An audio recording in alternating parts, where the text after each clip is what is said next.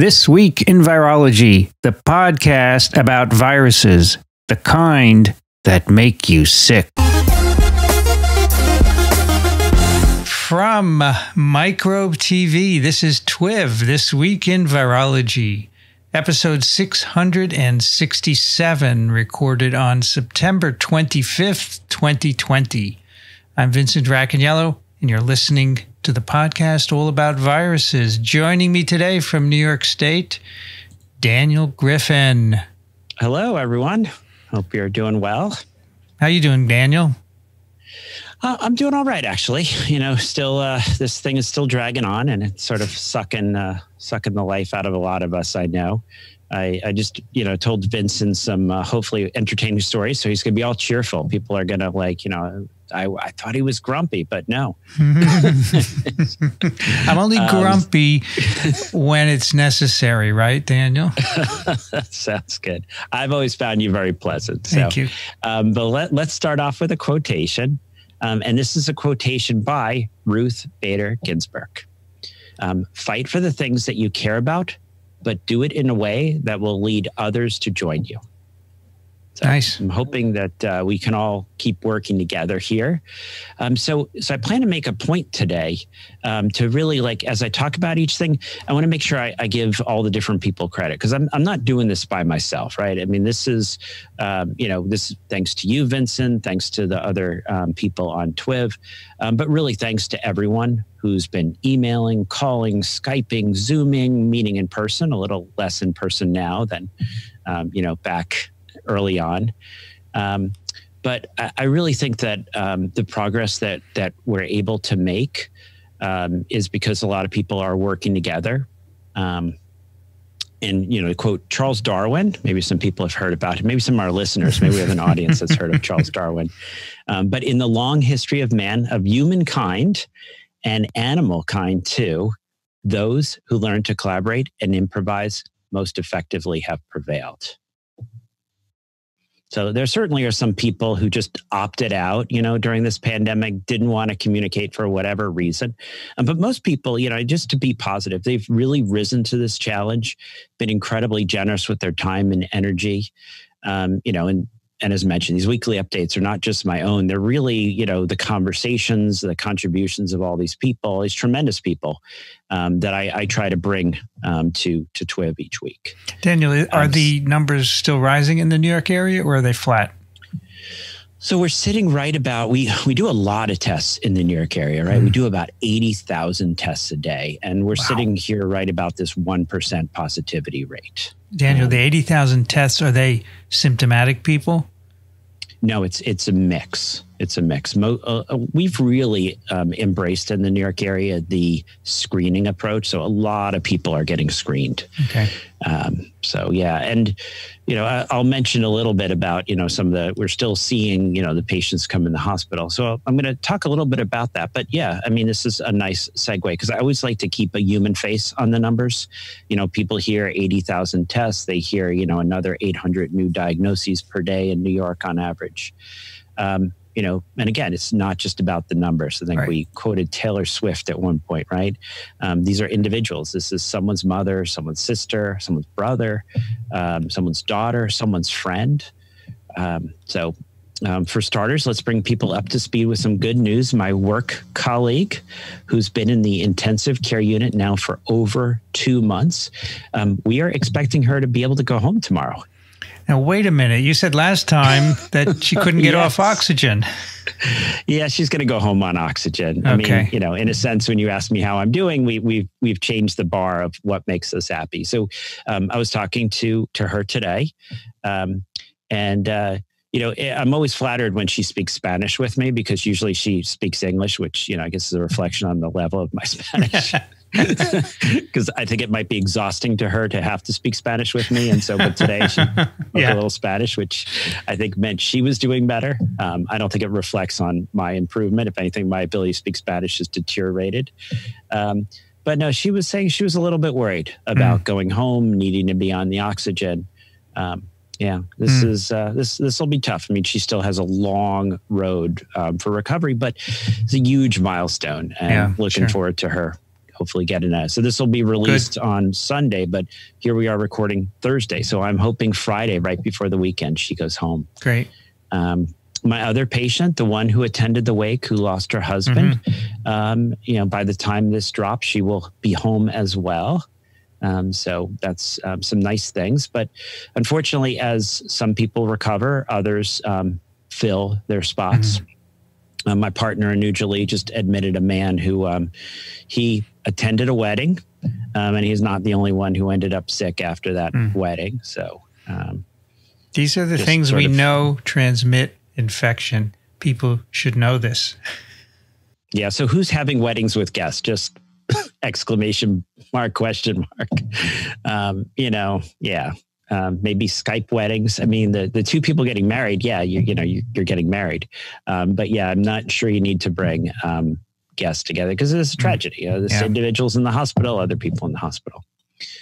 Um, a couple more people I admitted. One was um, a, a, woman who actually just admitted her this morning. Actually, she came in, over through the night, um, and her daughter was sick down in Virginia. She was there with her daughter, um, and then they figured out the diagnosis the daughter had was COVID.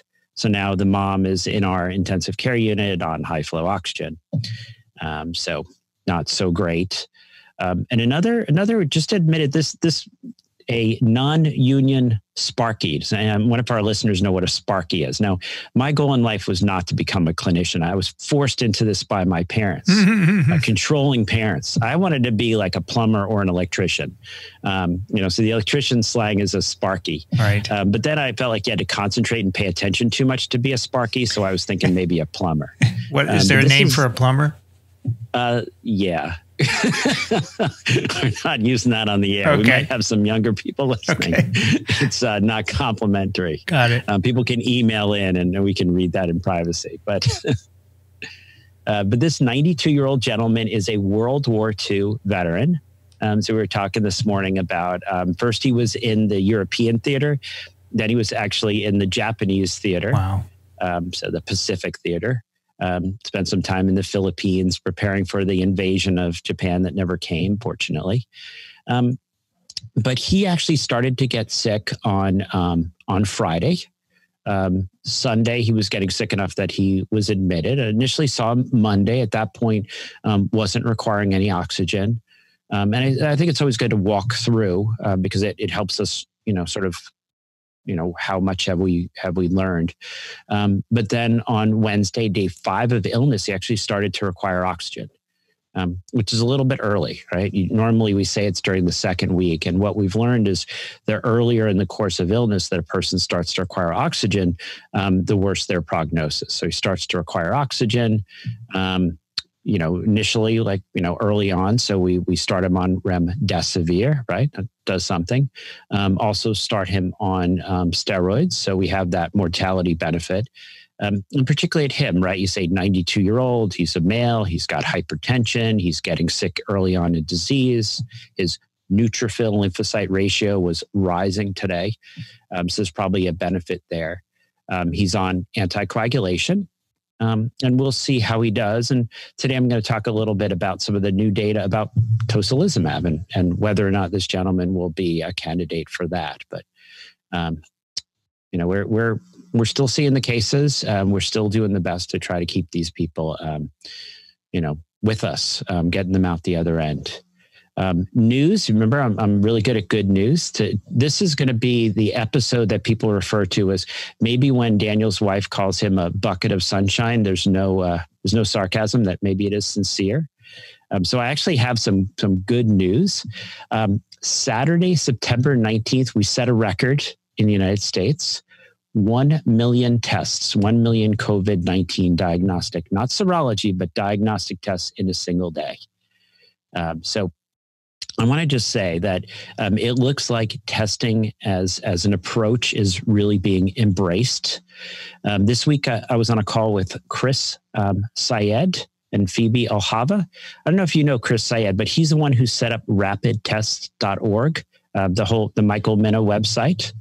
Um, and uh, we were all on a call with the Heritage Foundation. Um, and they basically, you know, were were wanting to talk about the the possibility of using rapid testing. We'll call them LICA sticks. Um, but yeah, the idea of using, you know, rapid, frequent testing to um, open schools and businesses in a safe way. So, I mean, there's there's reason to be optimistic. This is, uh, you know, a lot of really bright people um, who who are thinking like, hey, this is something um, that really might be an approach that makes a difference. Uh, what I thought was nice um, in this conversation was that there's a lot of modeling out there where people say, I have this model and, and this suggests it worked. Um, but it was nice that I was actually able to bring up some real life experiences, things that we've been doing at our different organizations. Say, you know, this is actual, we've been doing it and it works. Um, so I'm working on a, a, number of papers right now. Um, one of them is with um, Scott Shimatsu, Ariel Johnson and Ethan Burke. And this was actually, um, we're writing this up um, for emerging infectious diseases, where we looked at twice weekly testing in a long term care facility um, in Pennsylvania. And this was an area, Chester County, where the other facilities were seeing an average of 15.8 infections per facility. And with our twice weekly testing, we saw only two infections in that facility in this period of time. Pretty dramatic you know and you know and that's you know this is a very vulnerable population. Um, you know in the words of peter hotez um, you know covid is the angel of death for people in nursing homes. This this is saving lives. This isn't just reducing infections. This isn't just about numbers. It's actually about saving lives. So testing you know forget about you know just models. There's real life experience that it works.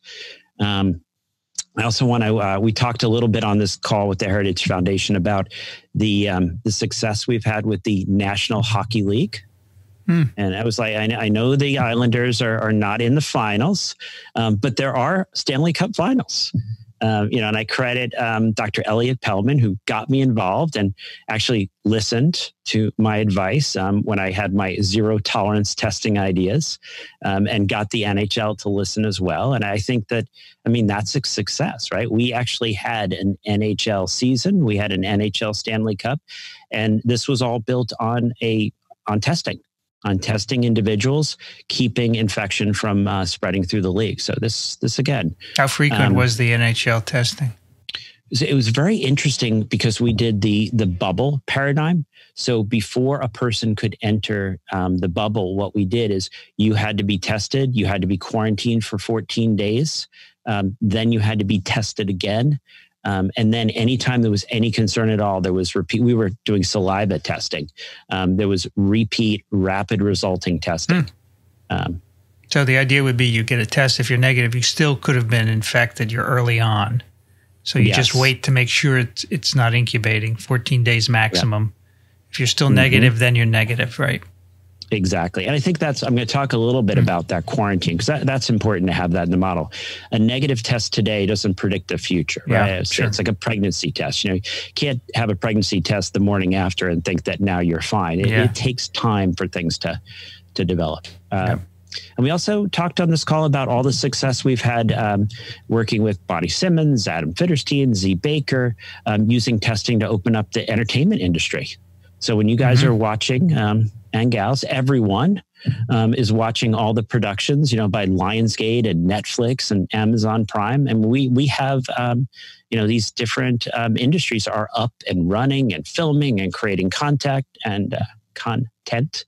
Um, so yeah, there's been there's been a lot of success here. Um, we're we're working on. This much promised online testing calculator, um, where people are going to be able to go online, put in your prevalence um, you know, the whatever sensitivity of the test or specificity, the frequency you're looking at. Um, I'm working on this with Natalie Shields and Ethan Burke again, Caleb Kennedy, uh, Greg Ling.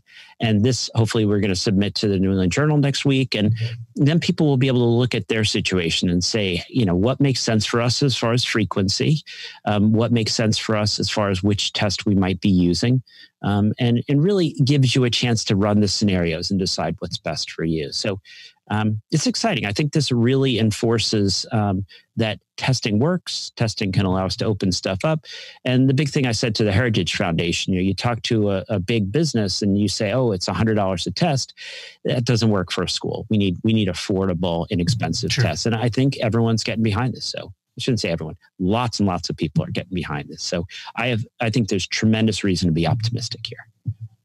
Um, but let's talk about this little issue about the specifics of um, quarantine and isolation. I just got an email to address this today. So, so what do you do? And the CDC now has has clarified, right? They they listened to TWIV, right, and they they said, okay, yeah, we'll we'll fix that that little sort of error on our website that was confusing to people, and, and they now clarified it very simply. They say anyone who has been within six feet of an infected person for at least 15 minutes should get a test. Um, you know, and this works well if you can create a visual in your head, because um, there's going to be a little subtleties here. Because the question is, when do you do that test, and how many tests do you do? So let, we're going to talk about the incubation that, that Vincent brought up. Um, it takes from two to 14 days from exposure to when a person gets sick if they're going to actually ended up you know being being an infected symptomatic person. Some people go through that period they never show any symptoms but they still might be infected. And that's what i talked about with the hockey league. You don't want someone at day 14 i feel great they may be asymptomatic. You let them into your pod into your school into your hockey bubble and and the world falls apart. Um, so so what how do you how do you sort of address this so quarantine is 14 days. We're going to talk about isolation, which is different. So quarantine, um, you know, when when might you do that first test? You really don't want to do it any sooner than day three. Um, sooner than day three, very you know limited number of people will have become um, positive by then. Day three is a reasonable first day. Um, day seven is another. That's going to actually pick up most people by then. Um, day 10 is reasonable, but you really want another at day 14 to know that this person, you know, ducked what is it called? Duck the thing, missed the gun, whatever the expression, but got through this without getting infected. Um, why are we doing a few tests in here? Because then there's the other issue of isolation. What happens when that test turns positive? So let's say you get tested on day seven and the test is positive. Now, what you need to do is you need to isolate, and that's a little bit different. So, isolation is you isolate for 10 days from the time you test positive for a virus or the time you have onset of symptoms. And then at the end of 10 days, you have to be without fever. Your symptoms have to be getting better. And this has to be without taking medication. So this isn't you're taking Tylenol and that's why the fever's gone. Um, so I think that this is uh, hopefully this clarifies um, sort of testing approaches for folks. But testing is good. We all like it. Okay. uh, so some treatment and drug updates. Um, so yeah, by the time our episode dropped on Sunday, I think everyone knew about the monoclonal antibodies. So that was that was good. I was a little worried. I was uh, you know jumping the gun on that and sharing confidential information, which um, um, I try not to actually i'm not good at keeping secrets. So yeah that was um, i was we were talking about that at the hospital today and they're like dan there's a show curb your enthusiasm. You should be on it. Um, so, um, but yeah, the monoclonal antibody stuff is is exciting that that's out there. And actually, one of the nice things, you know, we, we keep talking about, oh, but you got to go to an urgent care and someone's got to be intravenous. Um, but some of the monoclonal antibody um, therapies, and I don't know, people listening um, have osteoporosis or know someone with osteoporosis.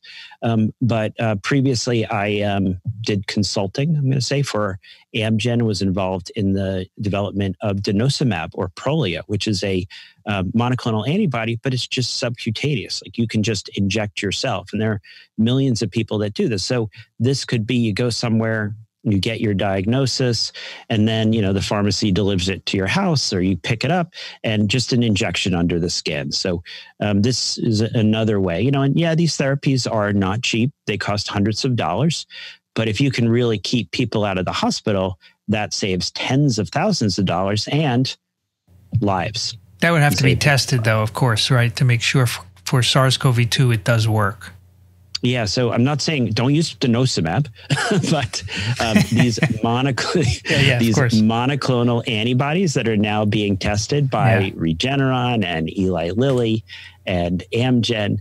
Um, yeah, we're actually looking, and and not all of them are IV. Um, some of the preparations okay. can just be injected under the skin. So these are all in phase two and phase three trials. So How long would they last, Daniel? Two weeks or so?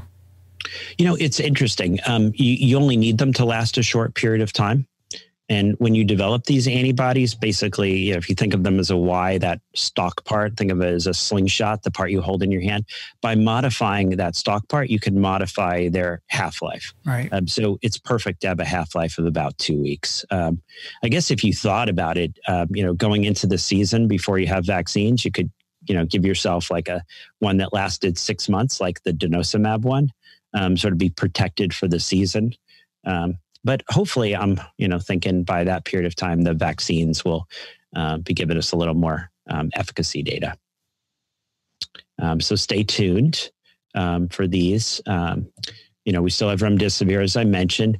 I've been getting a lot of questions about vitamin D. Yeah. Um, stay tuned. We'll talk about that next time. Okay. Yeah, we we've also got a bunch for you. They want to, they want a, a discussion of it.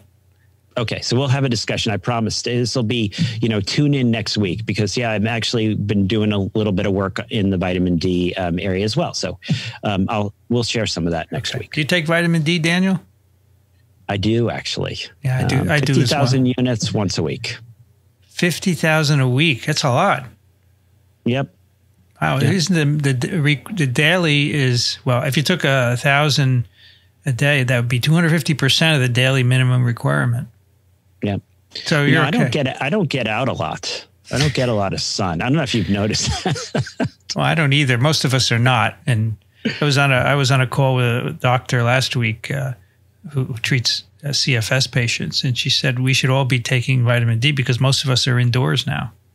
Yeah, it's um, you know, I was I was uh, we I said I wasn't going to talk about vitamin D, but apparently we're going to talk a little bit. Um, I always tell my patients, listen, you don't really need to take supplements. You know, you can get all the vitamin D you need from the sun. You just need 15 minutes of full body exposure to the sun at the equator, and you need the skin of an 18 year old. And and I just don't see why no you can't. Problem, no problem. No problem. okay, let's.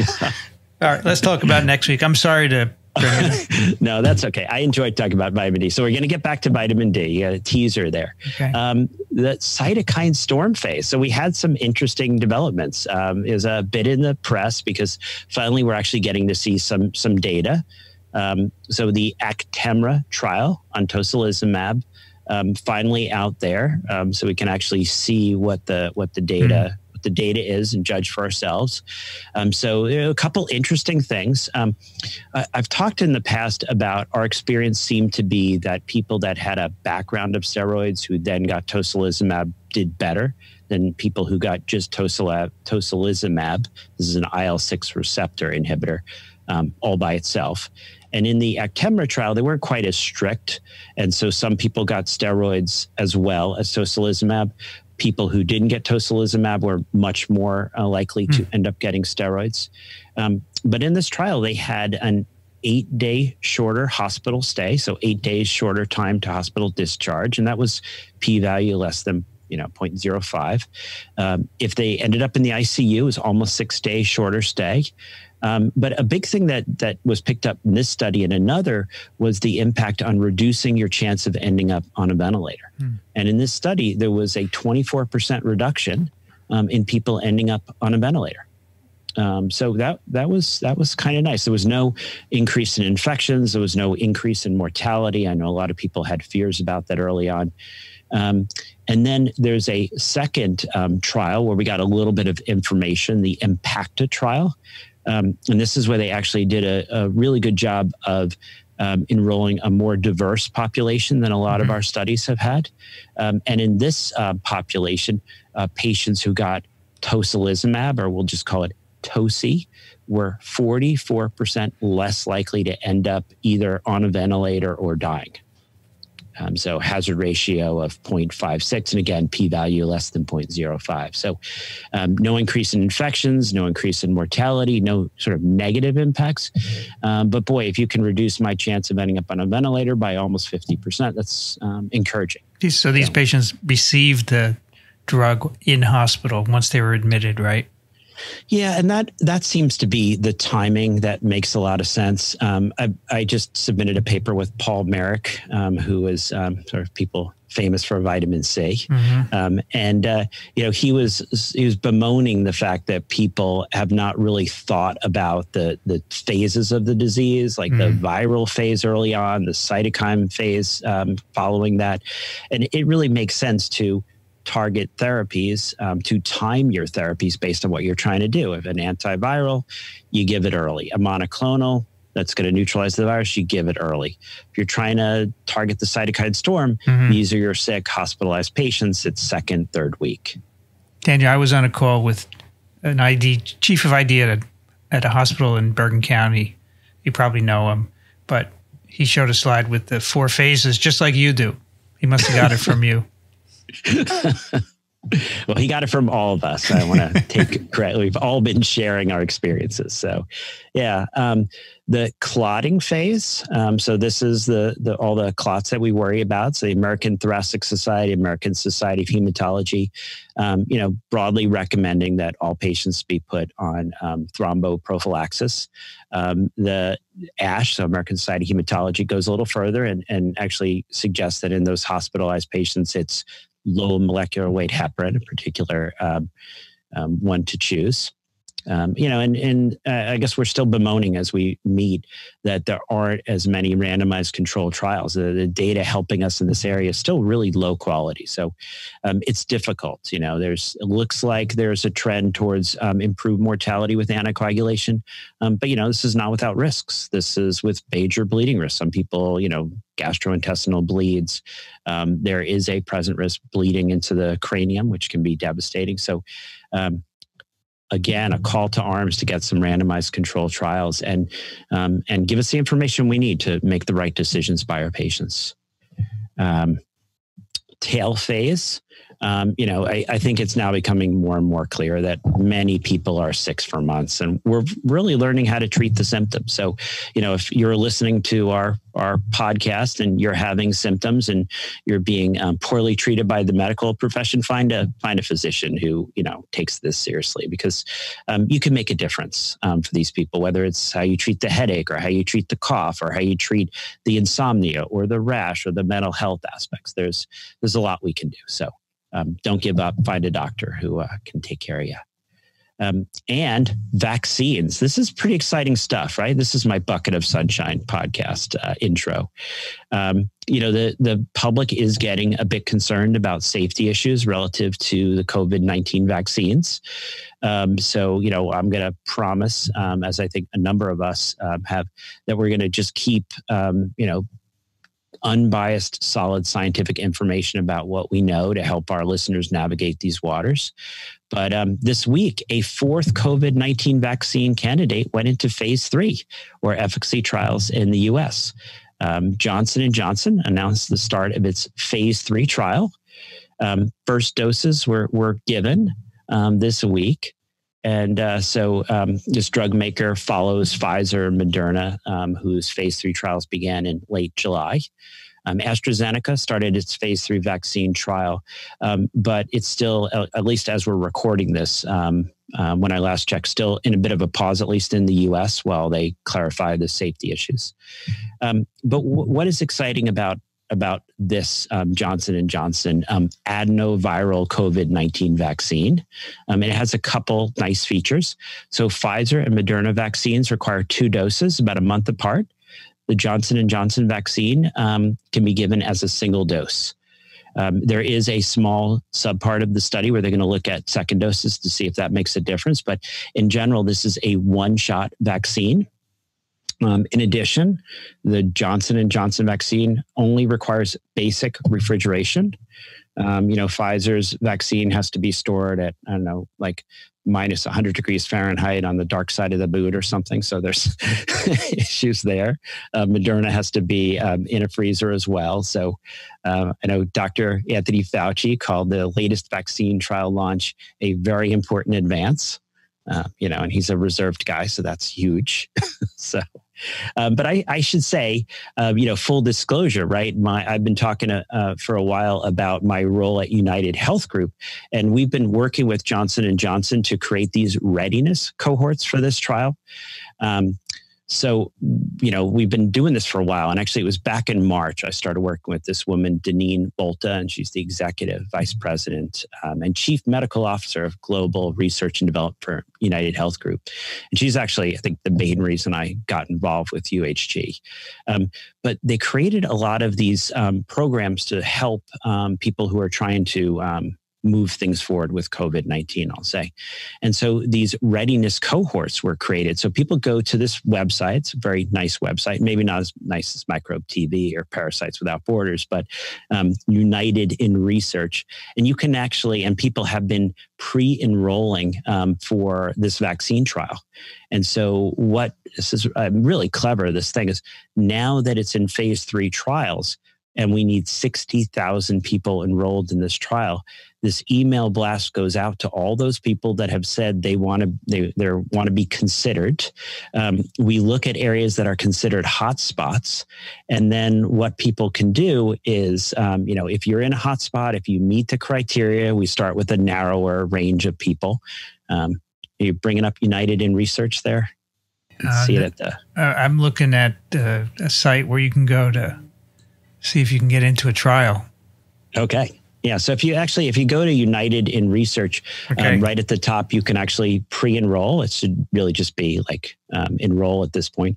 Um, but you can actually become a citizen scientist. And so, you know, yeah, these see. vaccines yeah. are, yeah, these vaccines are not going to just um, give us efficacy data mysteriously. They're going to take tens of thousands of, let's say, brave, committed individuals who are willing to get that vaccine um, see what happens, right? I mean, we we don't know yet, um, you know, and so um, over the coming months, as we see, unfortunately, an expected rise in cases, we'll see people who got the vaccine or the placebo. Is there a protection? How much is that protection?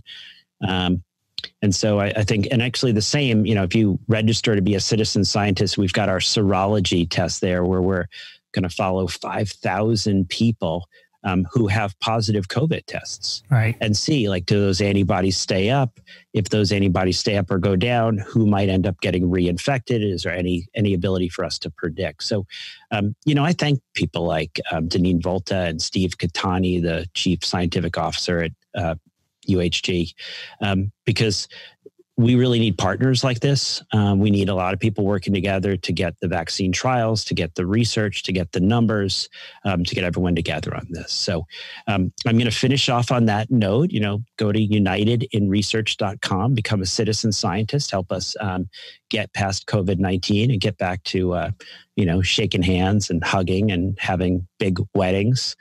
Um, and um, I also want to thank everyone. This will be our last episode where we're going to be asking for support for floating doctors.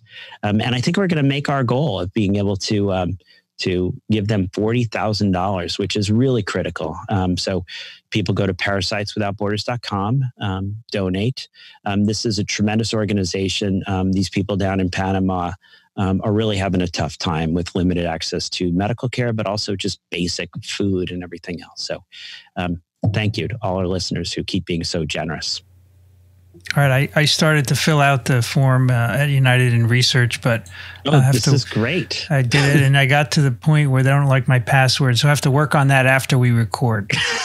because now I have I have a few questions for you. Oh, do you want to tell me what your password? I could help you. No, no, it wasn't long enough. They did, they want me to put more things, so I have to wait. Um, okay. All right, I have a few questions for you. Uh, this is from Stephen Ripple, DOMD. In TWIV 665, an important topic was almost brought up, but not fully discussed. That is, if one is in a SARS CoV 2 vaccine trial six months to a year into the trial, someone's vaccine is released, should that person be allowed to know if they are in the placebo part by simply asking? This is a serious bioethics issue that I know many would appreciate hearing the opinion from each of TWIV regulars as well as Daniel Griffin to each person answering individually. I, as that individual, would like to know so I can make the necessary choices as to remaining an unprotected person or receiving protection. Yeah. Um, you know, this is these are different times. I think we talked about this last time. Um, you know, it's un, um, what was unprecedented was the word that we yeah. that we've been using way too often in the last uh, six months. Um, but this is a unique situation where um, we're going to start to have efficacy data here in the next um, few months, actually, for a number of these vaccines. Mm-hmm. And an interesting thing then is it's going to make it harder for you know if your vaccine isn't the Johnson and Johnson, if it isn't the Moderna, Pfizer, AstraZeneca, and data comes out that there's efficacy here, um, you know, and you're in the placebo group, you're going to start to to wonder, like, hey, can I get access to something that works? Because I got placebo, and placebo is just not going to protect you from COVID, right? Mm-hmm.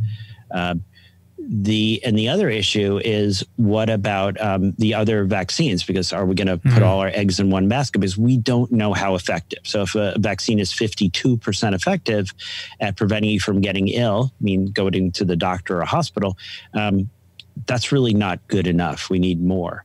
Um, so um, this is I don't know how each different company is going to select to do this. Mm-hmm. Um, you know, it's pretty easy to figure out if you were in the placebo trial. I hate to say, you know, you just go get a serology test and you know you're going to know. So uh, there really isn't a way to to tell people that they you know can't sort this out.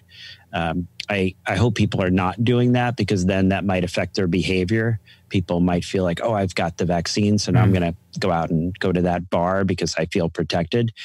And then it'll look like the vaccine doesn't work because there's different exposures. So this this is a great question. Um, this is uncharted waters. Um, it's going to be it's going to be difficult, right? Because this will this will only affect efficacy data. We're going to have that pretty soon, I think. Um, it's not going to affect safety data because the people who are in the arm that got the vaccine those are the ones where we're going to be looking at risk. It's going to be a little bit difficult because we usually compare. We say these people got the vaccine, these mm. people didn't. What was the difference in serious adverse effects between the two groups? But you're still going to be able to see do we see transverse myelitis? Do we see MS? Do we see, you know, whatever other um, uh, above what we would expect people to normally get? So this will muddy those waters. Yeah. Um, yeah. yeah. I mean, my opinion is that if you want to do a proper double blinded trial, you can't tell people what they got. Uh, because, yeah. and it's not an ethics issue because that is, that's what you sign up for when you sign up for a vaccine trial. You're saying, I accept this. And yeah. if you don't, don't sign up for the trial. That's, that's what I think. Yeah, I mean, I think to get back to the concept, you know, it's like when people go to, you know, United in research, they become a citizen scientist. We're, you know, we're all in this together. It's a community thing, yeah, and um, sure. a lot of us are making different sacrifices. And yeah, the people that are going to make this sacrifice and allow us to have the science to know which vaccines are effective, which are safe. You know, in the next six months, you're going to have some efficacy data, but it's all you're going to have is some. Yeah. You're not going to know the long term protection. And the, the, very interesting feature um, that we should bring up this concept that I've I know mentioned before about antibody dependent enhancement. Mm-hmm. And this is actually, you know, sort of encourage people to sign up for our serology study because what we want to figure out is, you know, maybe you have a certain level of antibodies and it's protective. But when you get to a low level of antibodies, they can actually potentially, we've seen this in dengue, for instance, they have the potential to make you sicker yeah. than if you never got a vaccine to begin with. So you know, we really need people to stay committed to these trials um, so mm-hmm. that we mm-hmm. can figure that out. The last thing we want to find is, oh, that vaccine that looked like it gave you really good three month protection is the one that you don't, if you don't get it every six months, you're going to get really sick. Right. Um, and I think, as we mentioned before, this whole butterfly effect, you can't just be mixing and matching. Um, you know, we need this data. It's really important. All right, the next question we got from several people. This is from Evan. Daniel Griffin talked today about the possibility that masks might be more effective than a minimally effective vaccine based on the estimated 50 to 75% effectiveness of masks versus the nominal 50% threshold for vaccine approval. I think Daniel may have underplayed this difference. An important distinction is that masks, like physical distancing, are effective at preventing infection, while the primary endpoint for vaccine approval has been repeatedly described as prevention of disease. This means that masks could be significantly more effective at actually reducing virus prevalence in the population.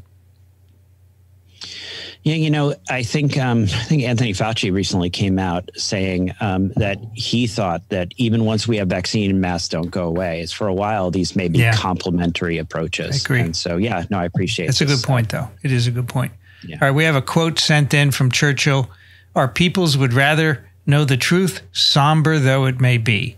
Addressed to Congress, December 26, 1941. Do you like that, Daniel? I like that. I think okay. that's great. Uh, and hopefully that's what we're giving. We're giving um, the truth. I mean, I think people need a place where they can go and know that they're gonna they're gonna get the truth. They're gonna get what the science says, not what we would like the science to say. All right, one more from Liz. Question for Dr. Griffin. This may seem kind of a stupid question, but should people with genetic thrombophilias consider themselves in a high risk group with respect to COVID 19 complications. With all the talk of blood clots, that seems like a given, but I haven't found much discussion of this or any studies about it. Do you know of any? Yeah, this this is I sort of mentioned this briefly it is really um, somewhat painful how limited data, how limited the data is at this point about what to do about the clotting complications, um, and so we we don't have much guidance here. This is just sort of thinking things through and trying to figure it out. But yeah, I would I would think if you have a, a disturbance in your uh, coagulation system, um, that that theoretically puts you at increased risk, but we don't know. This is you know um, this is where we're trying to extrapolate from from what we know, but we're extrapolating out into a data free zone. So these, I don't understand. What do these people? Uh, do these people with genetic thrombophilias have clotting issues? So it can go it can go two different yeah. So thrombophilia, so you know, sort of the love of clotting. Yeah. Um, so yeah, these are people who are more likely to clot just even at baseline. Got it. Um, this reminds me. My dad always says when I can't under, he's like, "Oh, just think about what it means in Hebrew." I'm like, "Yeah, it's great, Dad. I don't speak Hebrew." so, so, so here I was like, "Just think about what it means in Latin," you know. so, Got it. Um, yeah. So it's, uh, but I think philia people are okay. with that. But yeah, so if these people are going into with a baseline increased risk, then yeah, you would you would worry that something that is triggering activation of that system is going to put them at higher risk than someone without a disturbance mm-hmm. in the system. So if you had a patient come in with COVID nineteen and a thrombophilia, you would make sure they had uh, treatment for that, right? Yeah, you know, across the board, as I mentioned, it's uh, generally recommended that people are put on um, some sort of prophylaxis. And just the issue with the anticoagulation is, is is it at just this low prophylaxis dose? Do you put it at a, a full dose? Yeah. And you know, at this point, we we have evidence that there's a, a mortality reduction to um, these different approaches. Uh, but you really have to individualize it because there's a risk. This is not without risk. So a person mm. like this, you know, you're going to figure this into your calculation of Got whether it. or not they should be at low dose or higher dose.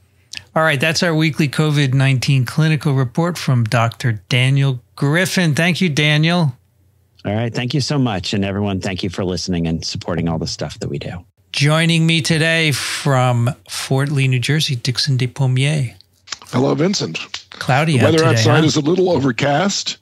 Uh, the temperature is supposed to hit 80 sometime today. Seriously, which is quite unusual for this time of the year. And uh, we haven't had rain in about uh, two weeks. It's uh, been warming up here. Yeah, it's 24 today because it got chilly for a while. From Austin, Texas, Rich Condit.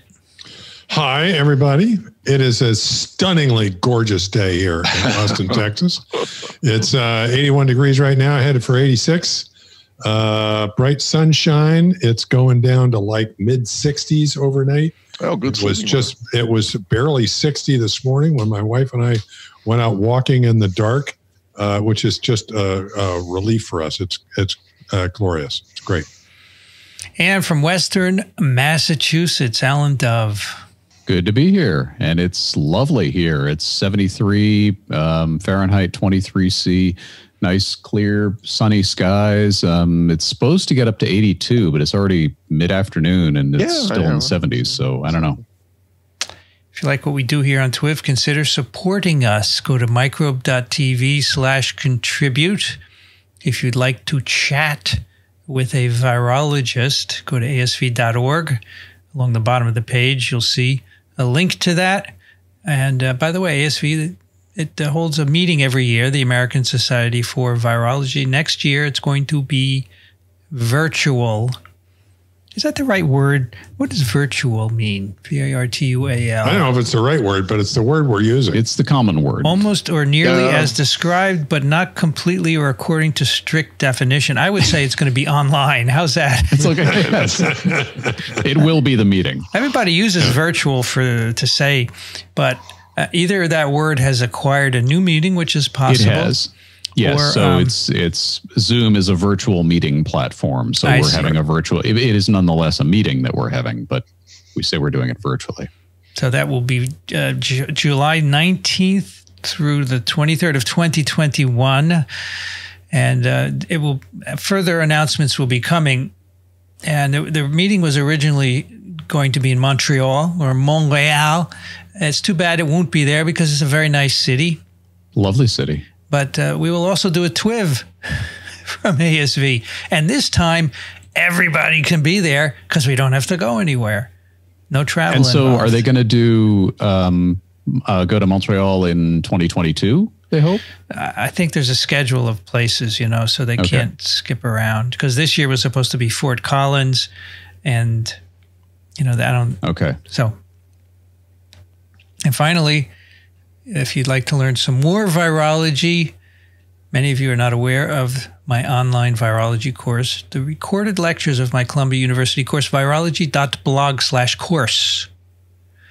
All right, today we have two papers for you, which both have to do with a virus called SARS CoV 2. I've heard of that one. It's a coronavirus. Yeah, I it's a Uh, I think so. And you, you know, we haven't talked much about it, but No, um, it's pretty obscure. first one is a Lancet uh, article, which I thought uh, everyone would like to hear us discuss. This describes the Russian vaccine that was so famously in the news a few weeks ago. The phase one and two trial results were published. Safety and immunogenicity of an RAD26 and RAD5 vector based heterologous prime booth COVID 19 vaccine in two formulations, two open, non randomized phase one, two studies from Russia. Non randomized, they took people as they came. Boom, boom, inject, inject, inject. They didn't put them into groups, just took them as they come, which is one way to do a trial, but mostly we do randomized trials. Anyway, the first two co-authors are Denis Logunov and Ina Dojikova. And the last author is Alexander Gintsberg. They are from the Ministry of Health of the Russian Federation and First Moscow State Medical University of the Ministry of Health of the Russian Federation. A little overlap there, I guess. Not familiar with Russian academic institutions or ministries. All right, so this is a combined phase one, two. Uh, Uh, they call it an open trial. Does that mean it's not blinded? I think so. Yes. yeah, open label is what we would call it. Yeah, so maybe Right. it's the same. So they know who's in the control group and who's in the study group as the study is going on. Yeah. Yes. They do have a control group, okay, but it's not randomized and it's not double blind. So what they're doing here Uh, which is, uh, excuse, excuse me, which is Yeah, yeah. not untypical Yeah. That's that right, is for a phase one, two. perfectly legitimate in a phase one two trial. This is at this point you're trying to get safety information. That's the main purpose of a phase one, and um, some kind of if it was a drug, it would be pharmacokinetic. In the case of a vaccine, you're looking for immunogenicity. You're not. Very importantly, you are not looking for efficacy. Right. You're not going to wait for these people to contract or not contract COVID nineteen. You're just seeing does it does it hurt anybody and do they develop some kind of an immune response against it Right. that looks good I mean, the one thing I will say about this, I have other things to say, but you know, the total number of people enrolled is rather small for a combined phase one, two. yeah So typically, phase one, you would have about 30 to 40 healthy adults. And then phase two, a few hundred. And we only have 76 for both here. So it's a bit slim. And the reason I mention that is uh, I have studied extensively Sabin's vaccine and the trials it went through. And I have a wonderful paper here called Role of My Cooperation with Soviet Scientists in the Elimination of Polio Possible Lessons for Relations Between the USA and the USSR. 1987. you know, you can have all the lessons you want. People are not going to listen anyway. The point of this is Sabin developed his oral polio vaccine in the 50s. And by then, the Salk vaccine had already been licensed in the US. And the U.S. said, "We don't want your vaccine. We don't want your stinking vaccine." They didn't say that, but it would make a good movie, I guess, right? Right. Albert, we don't want your stinking vaccines. anyway, so uh, Sabin had been born in, in the Soviet Union, and he still had friends there, including the head of virology, Chumakov, and they they worked out a doing a clinical trial in the Soviet Union, and they did like 20,000 children right off the bat in the, in the 50s, and then they immunized 15 million children. So the point is, you, the Soviet Union, which part of which became Russia, used to do a lot of people in the trust. I don't know why only 76 in this one. I'm speculating. And, and I would say Albert Sabin is rolling in his grave. Do you know that expression? Oh, yeah. Oh, yeah. Now, in this uh, paper, that's a two component vaccine, and they decided to use vectors, adenovirus vectors that had some experience with that. And they said, we want to be able to boost, uh, prime and boost. And to do that, we're going to use two different adenoviruses. So we don't have any immune response against the vector interfering with the, with the boost. And this is an ongoing problem with, uh, or concern with adenovirus vectored vaccines because adenoviruses, too bad we don't have Kathy here, um, are widely circulate. And in humans, I mean, odds are you've had one or both of these at some point. Um, so if you've had adenovirus 26 and you use a recombinant adenovirus 26 as a vaccine, your body already has an immune response against the virus that's carrying the vaccine antigen, and it may not get right. anywhere. Right. And so here they're trying to get around at least they, they will have given somebody an ad 26 vaccine as a prime, let's say, and then they're going to have fresh antibodies against ad 26. So they use a different adenovirus for the boost. So, uh, and as uh, we've started to discuss here, the two adenovirus serotypes used are ad 5 and ad 26. My understanding is that AD5 is pretty common. Right. There's a lot of seropositivity to AD5 in the population. AD26 is less so, much less so. Right. There's yeah. not as yeah. much AD26 around. Uh, and my understanding also is that um, the uh, that people who are seropositive to AD26 that does there historically there doesn't seem in experiments like this doesn't seem to be much interference with the effectiveness of a vectored vaccine in people who are seropositive. But we can keep our eyes on that as we look at this paper. So they both both adenovirus vectors, they're both human adenoviruses. They carry the gene for the SARS-CoV-2 spike glycoprotein, right? Common with many other vaccine Everybody's approaches. antigen of choice, yeah. And they have two preparations. One is five, one is 26 uh, 10 to the 11th viral particles per dose for both. And all the participants received full doses. It's quite a bit of virus. Mm-hmm. 10 to the 11th. That's 10 with 11 zeros behind it, right? Right. Right. Am I correct? Uh, and also for the newbies uh, uh, out there, uh, these vectors are engineered such that they are non replicating.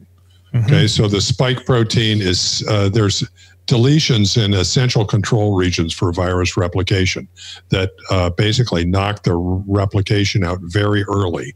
Uh, and the spike protein is stuck into one of these uh, deleted regions. Uh, so it really is truly is a vector in that. Uh, oh, and you use a cell line that provides the missing function called generically a complementing cell line in order to grow this otherwise defective uh, recombinant vaccine. Uh, and it tr- becomes truly a vector because you wind up with a virus particle with this viral genome with uh, the spike gene spliced into it, and it delivers the viral DNA to cells uh, following the injection. And you get uh, expression of just a couple of viral proteins uh, and the spike protein, and virtually no, uh, actually beyond virtually, genuinely no virus replication. Okay. Yeah, it's it's a one round event for the virus. Mm-hmm. It can it can get into a cell. It can start making its proteins and express them, and that gets you the antigen.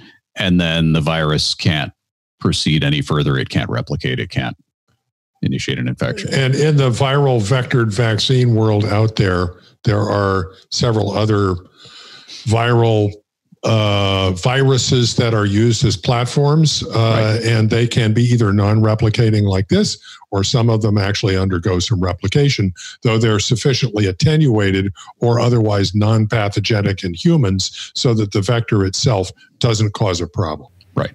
Now, this dose of 10 to the 11, they say, was based on findings of preclinical studies, which is unpublished. So we don't get to see why they decided, but presumably in an animal model of some kind, they decided 10 to this the 11. was a good dose. Yeah.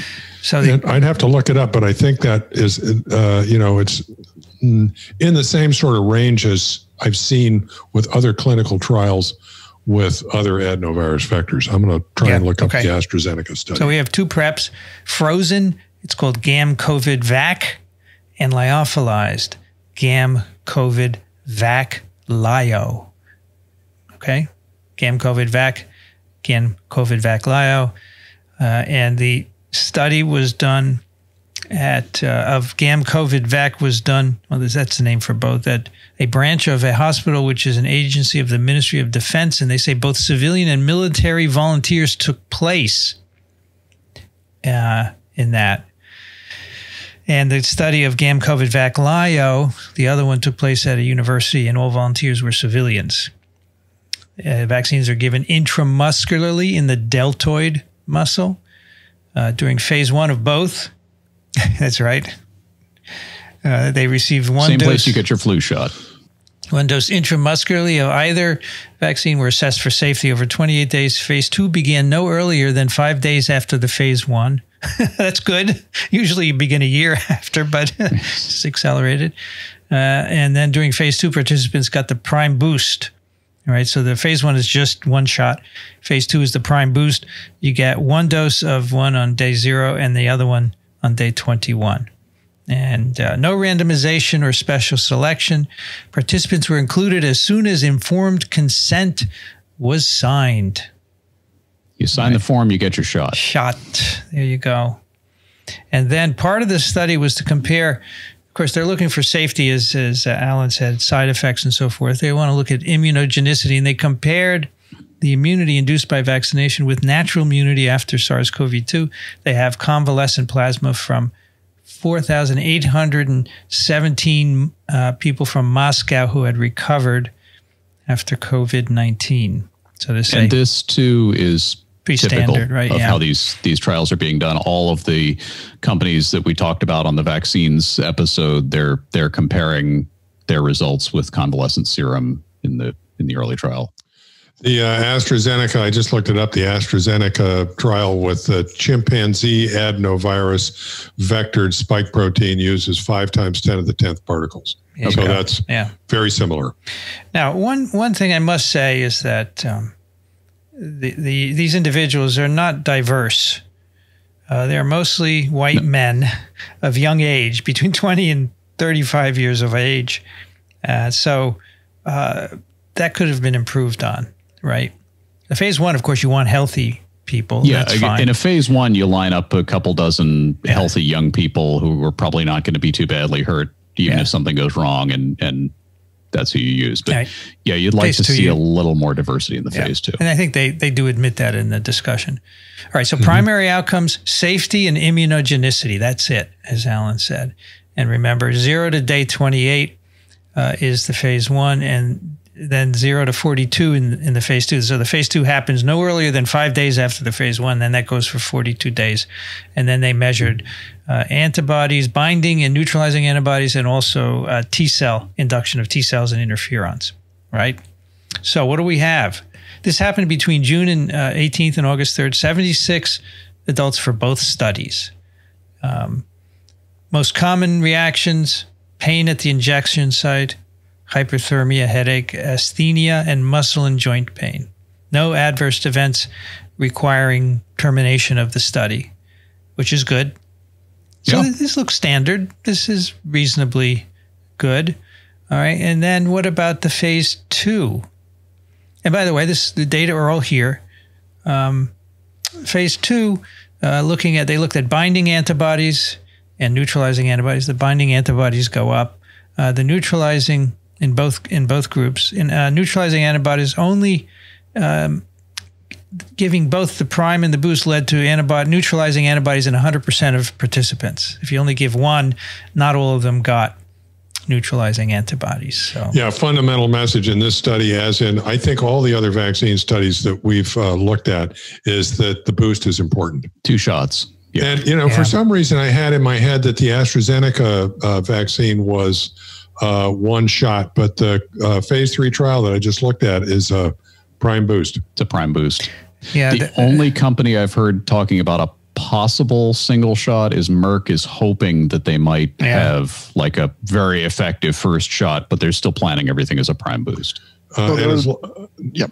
go ahead, ahead, Rich. Jackson. No, I was just going to say something about the uh, the older uh, vaccine development that I'm familiar with was the swine flu um, uh, that was developed by Merck after the uh, case of uh, swine flu at Fort Dix. And I was wondering how many people you'd have to trial on these uh, the opening trials, and Alan might have the data. Is how how many people do you have to go to before you come up with one Guillain-Barré?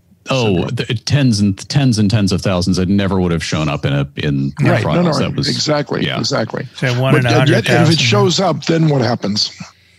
in a then, trial. Boom. Yeah, then you pause the trial and Yeah. figure out what the heck happened and try and figure out if that was Right. related But, to the uh, vaccine or not. Someone wrote in Exactly. a few weeks ago the, the rate of Guillain was one in a hundred thousand doses, so they would never pick it up even in a thirty thousand. That's right. Okay. And in fact, even if you did a hundred thousand patient trial, or or you did a fifty thousand patient trial, and somebody came up with Guillain Barre, there's no way you would statistically connect that to the vaccine.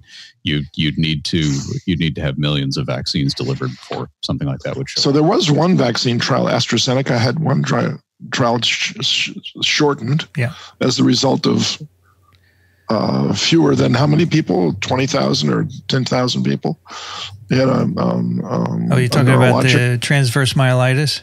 Yeah, exactly. exactly. It was it was paused. It was paused. paused. Paused. Only- Yeah, and that's it's what been I paused. only for a week. Yeah. Okay. Yeah, so they, somebody somebody had a an issue, a neurological issue, um, and they determined that that they appear to have determined that it was not likely vaccine caused, and Right. so the trial has been picked up again. Has it been picked up Uh, in the U.S. or or just in I the think UK? it, it was still paused in the U.S. last I saw, but it's restarted elsewhere. I think Yeah. it restarted in the U.K. Uh, the other uh, uh, the other point I wanted to make about this particular study that I find attractive is the uh, is that they're testing a lyophilized preparation. I don't know if we Yes. commented on that specifically yet. That means it's freeze dried, which really uh, helps out with distribution of the vaccine. Yes. If you can Oh, distribute something freeze dried and reconstituted on site, then, then you don't need cold chain, and that'd be great. And from everything I can see here, it looks like the lyophilized preparation works as well as the It's as good as the the other. Yeah, As, as, as Daniel Griffin mentioned in his update, a new, another phase three trial has begun in the U.S., and I believe they are hoping to have a single dose with that one. I don't remember the company. Does anyone know offhand? It just began I this don't. week. Don't. So I, I just don't think single dose is going to work. I think it's, uh, Uh, it doesn't look that way to me. no. And of course, Well, it's no, un- the- Uh, the way you on would- everything else we've seen. Yeah, the way you would develop that is you'd probably plan a two dose trial and then you'd look at the antibodies after dose one and you'd proceed with your two dose trial and say, well, you know, 98% of the people had the same antibodies after dose one. Um, and then you might subsequently try to go for a single dose. At least that's the way I would Yeah. do it. Just to So, play it according to this trial, uh, administration of only one adenovirus gave a seroconversion rate of 61%. Uh, and so it's 100% when you give the prime boost. So that's why they're saying this is going to be a, prime a prime boost. So uh, seroconversion 100% on day 42 for both vaccine formulations. So that's good. And the levels are similar to convalescent plasma. I have this figure two here humoral immune response. And you can see with time the different uh, immunization schedules, either binding antibodies or neutralizing antibodies. And you can see the big range of convalescent plasma. And these all four fall within that range, right? So comparable. Whether or not they last, who knows, but we'll find out. Exactly. They also looked at cellular immune responses. Um, they said, um, uh, and they measured these T cell responses by measuring gamma interferon secretion. Found this in 100% of volunteers. Um, so they're making T cell responses, although again, how functional they are, we don't know. But that's also been the case with the other vaccine trials that we've discussed. Yeah. Now, uh, I'm really interested in the uh, reactions to the vectors here because they do this yes. thing where they mm-hmm. go ahead. They uh, measure uh, the uh, antibody response to the individual vectors. So, right. Mm-hmm. if you immunize people with the Ad5 uh, vector and then measure the amount of reaction to either Ad26 or Ad5 uh, at zero and 28 days, you can get an idea as to how much background there was to either vector and whether or not you get a vector specific reaction. And basically, it's everything that you would expect. Okay. Mm-hmm. When you shoot somebody with ad5, they made it, make an ad5 response. Ad 26, they make an ad 26 response. And both of them, you get responses to both of them. And as I look at the data here as the time zero, the background levels of uh, seropositivity to ad5 and ad 26, I don't see a big difference. Uh, yeah. In contrast, in contrast to what I said earlier. Right. But it's small number of patients. It's small number. Hard to really say. Yeah, a small number of positive and a small number. And it's of yes, and it's and it's a a big distribution of them across those. So what they do say is that seropositivity, uh, uh, baseline seropositivity to start with, to one vector doesn't seem to compromise the uh, immune response to the spike protein. Right. Okay. So the fact the immune immunity to the vector is not compromising a vaccination, which seems to be almost generally true with a lot of these. Yeah, from what I can tell. So that's the study. They conclude this, these vaccines are safe, well tolerated. They induce strong humoral and cellular immune responses in all the participants. Um, you know, when this was announced a while ago, got widely criticized. But I think if the paper had come out, maybe it would have been less criticized. And the final sentence of the um, abstract, or the uh, they've got a little um, summary at the top, the research in context is further investigation is needed of the effectiveness of this vaccine for prevention of COVID 19. Of course. yes. Which is true. Yes, there's Which no, there's, there's, no uh, phase yeah. three here. Yes, but that's. Yeah. Uh, They're saying this is a phase one, two, and we've determined that it's seems to be safe and immunogenic and now, there we are. This vaccine has been provisionally approved under the current decree of the government of the Russian Federation. Yeah, now that's the problem. well, it's not a problem for us. No, so no, it's a, not. It so might be a problem for them. So it's provisionally approved, but then they say provisional licensure requires a large scale study, and that's a phase three. So there's this. I don't know what a provisional approval is. That an EUA or something like that? There's been a, okay, so there's been discussion of this, and I'm still not clear on it because I am not a lawyer even in the US, and I certainly wouldn't pretend to understand how the regulations work in, in Russia. Um, but a, somebody somebody said that the the way the provisional approval is written, this could be distributed more widely, mm. and there's been commentary, this credible commentary to that effect that this could be kind of a stealth approval um, type of approach. So it's not exactly an EUA. It's yeah it's something else, I think. Um, if we have any Russian health policy experts who can write in at reasonable odds, we do. Um, go ahead and, and, let us know what the heck is up with this because we've gotten, I, I've gotten at least conflicting news from otherwise credible sources saying, well, you know, it wasn't really approved, or well, you know, it was kind of approved. Um, it, it is definitely true that Putin bragged about the fact that they've got a vaccine yeah, that's right You know, even though this phase two trial was actually when other companies in other countries were setting up phase threes, they were just setting up this. So this is behind the curve. Um, and on the strength of this trial, they gave it this provisional approval, which is something that none of the, you know, AstraZeneca or or Pfizer or Moderna, they don't have anything like that, and they aren't pursuing it. Yeah, you wouldn't without um, phase three results ever elsewhere, yeah, right? Because this is this is something you just don't do. You you need to do the phase three trial in order to determine whether it actually prevents disease, and also to get um, a to to look more sensitively for any safety signal. So they're not broadly uh, using this until the phase three. Is that what we understand? I, I think, but uh, again, you know, see, see, above for disclaimer. I, I, yeah, yeah. Some of you'll know news, it after they do it. Yeah, it does. News, it doesn't sound from the paper as if there's going to be broad distribution of this, but it does Except, sound as if, as if in some uh, in some situations they're going to go ahead and use it. Mm-hmm. The, the issue there, I think, is that the people who are authors on this paper don't actually have any say in any of that, I suspect. Right. So I think what's been said by people in charge in Russia implies that this is going to be deployed before there are phase three results. And that is a matter okay. of considerable concern. So they plan for the people for the people involved. Yes, for the people okay. involved. Yes. Yeah. I mean, if they want to do that, it's their business. I wouldn't. No, and and I would just point out. I mean, if somebody's watching this video a year from now, and it turns out this vaccine was highly effective and and worked out, everything worked out just fine, and they deployed it widely without phase three, and it was all great. Um, that still does not make that a good decision. Right. It just means you got really lucky. right. The one thing I would say is that uh, I would hope, and I this will probably happen. I would hope that ultimately there is a good phase three trial, even if it's being deployed uh, among people and you know in a not in a controlled fashion.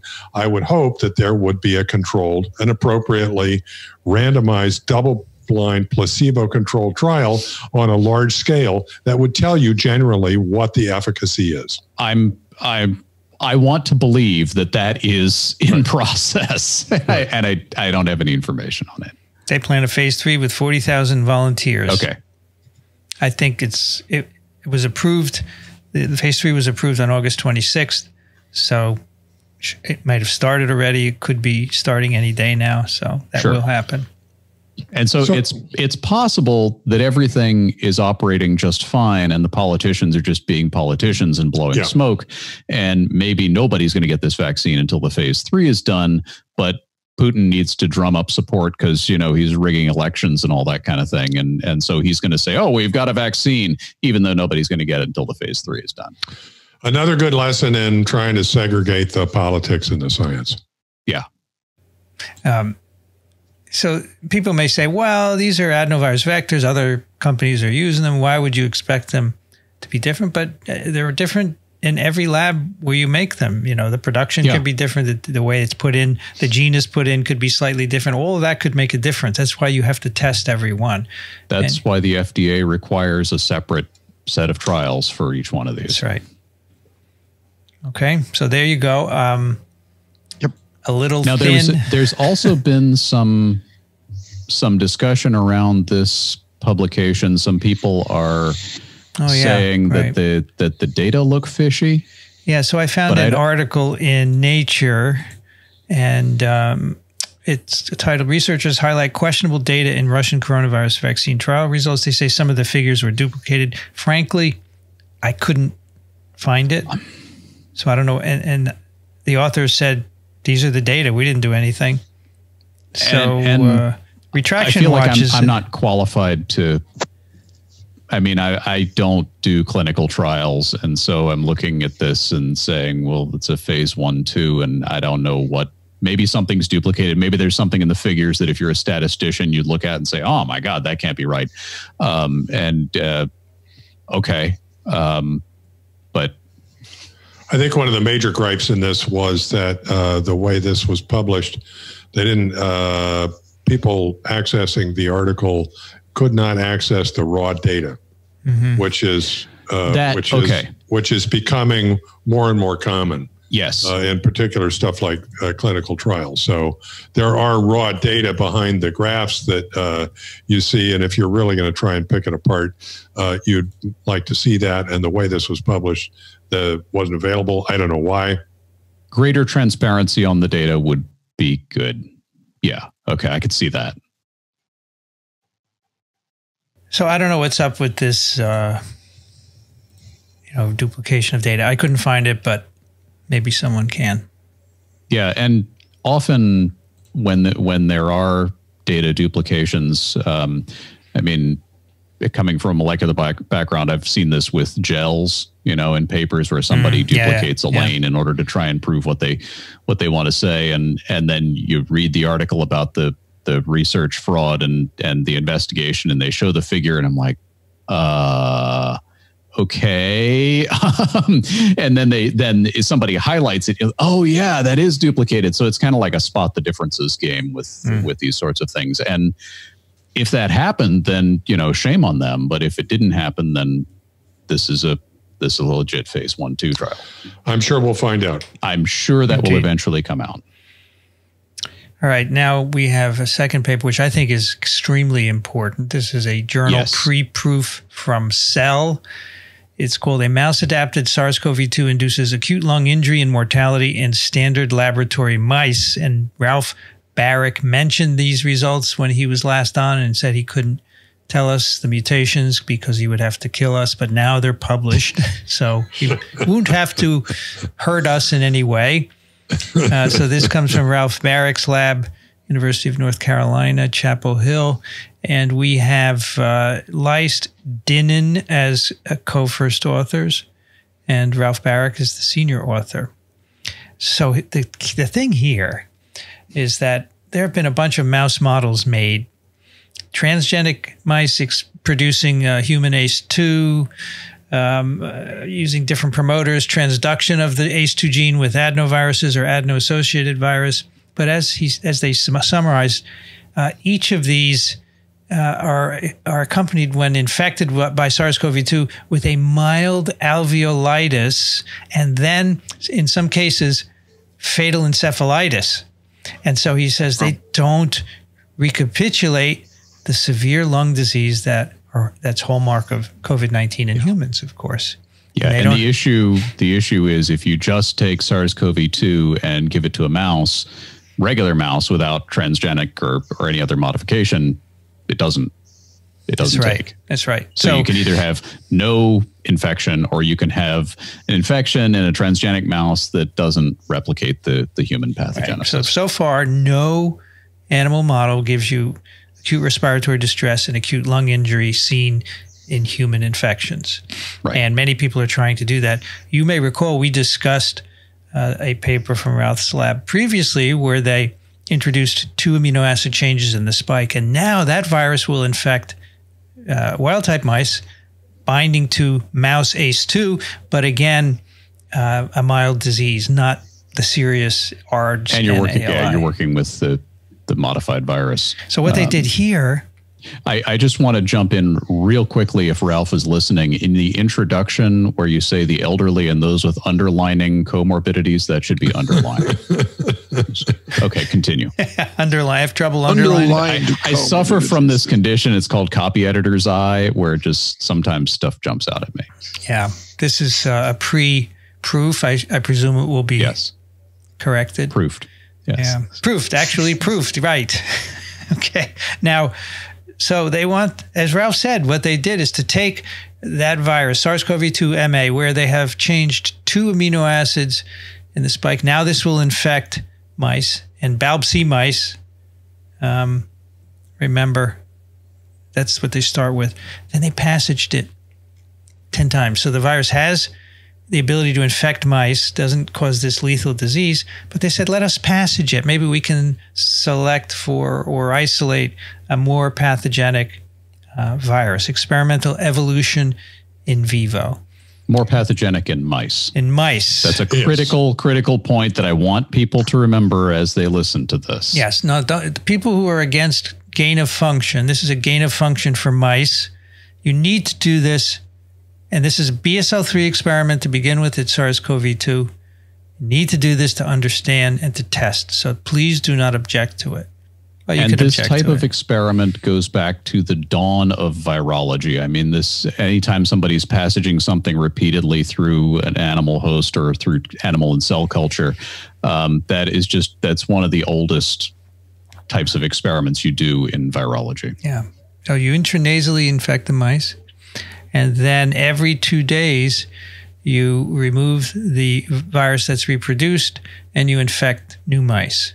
All right, and so uh, with passage, they observed a linear decrease in body weight over time, eventually greater than 10% body weight loss uh, by passage 10, two days after infection. So 10 passages in mice now, you're getting 10% body loss by day two after infection. So it's increased, and they plaque purified uh, a virus and, and, showed that this plaque purified, it's a clonal isolate, right? Plaque purified is also able to cause this uh, body weight loss by day two. And then, of course, and these are young adult BALB/c mice. Uh, they deep sequence the RNA uh, and uh, purify the virus, and they find what changes have occurred in the genome. So, in addition to the two amino acid changes in the spike, there are five additional changes, all resulting in non synonymous coding changes. That is, they cause a change in the amino acid sequence. And these are in, and we'll talk a little bit more about what these proteins do later NSP4, NSP7, NSP8, another change in spike, and ORF6. So five additional amino acid changes. Whether you need all of those or some, they're working on it. yeah. But right now they're working with passage 10, plaque purified. And I have to say, it looks great. And this is just beautiful. Now, uh, so this is called SARS-CoV-2 MA10. So MA was their original engineered virus, and then 10 passages. Uh, it can it can reproduce in and form plaques in vero cells, vervet green monkey kidney cells, and they say that's good. So we can grow up stocks of this virus, and we can measure its titer by plaque assay. But it was attenuated compared to wild type SARS CoV 2 in primary human bronchiolar epithelial cells. So they say this suggests it has de- decreased fitness for human cells. And this passage type of thing that we're talking about, where you pass it through an animal multiple times with a human virus, is in fact a way to try to develop an attenuated virus for purposes of a vaccine. Yeah. So it's not at all surprising that it's attenuated in the human cells. Yeah, so I would uh, I would generalize for our newer listeners out there. Something that kind of took me a while to catch on to is that uh, by and large, uh, this is not always true, but uh, I think generally viruses are tuned to a given species. Yes. Right. And they don't easily jump from one species to another. And so in this particular case, where you retune the virus from the human species to a mouse species, you find that it's lost some of its uh, specificity or fitness in the human species. Yeah. Per, all, all, makes sense. And uh, as you say, Vincent, we'll get to the individual functions, but the why of that is one of the biggest mysteries out there. So the next set of experiments are very relevant to, to an arc we have had. How much virus do you need? Yeah. and this is mice. Remember, it's going to be different in people, and we're dripping, you know, virus right into the nose, which is not how we get infected. Lots of caveats, yet got some answers here. They did a dose ranging study in uh, BALB/c mice. And you can see a dose dependent increase in morbidity and mortality. Morbidity is disease, mortality is death, of course, over 14 days. And 10 to the 4 PFU, 10,000 plaque forming units, 20% mortality. 10 to the 5th, 60% mortality. 10 to the 2 PFU, 100 PFU produced increased weight loss compared uh, to 10 to the 5 PFU with the parental MA strain. So you can see it's got increased virulence, right? So you need 10 to the 2 only of this passage virus to get comparable weight loss if you in- inoculated uh, mice with 10 to the 5 PFU of the MA virus. And, uh, and so for uh, for reference, I pointed this out, I think, last week.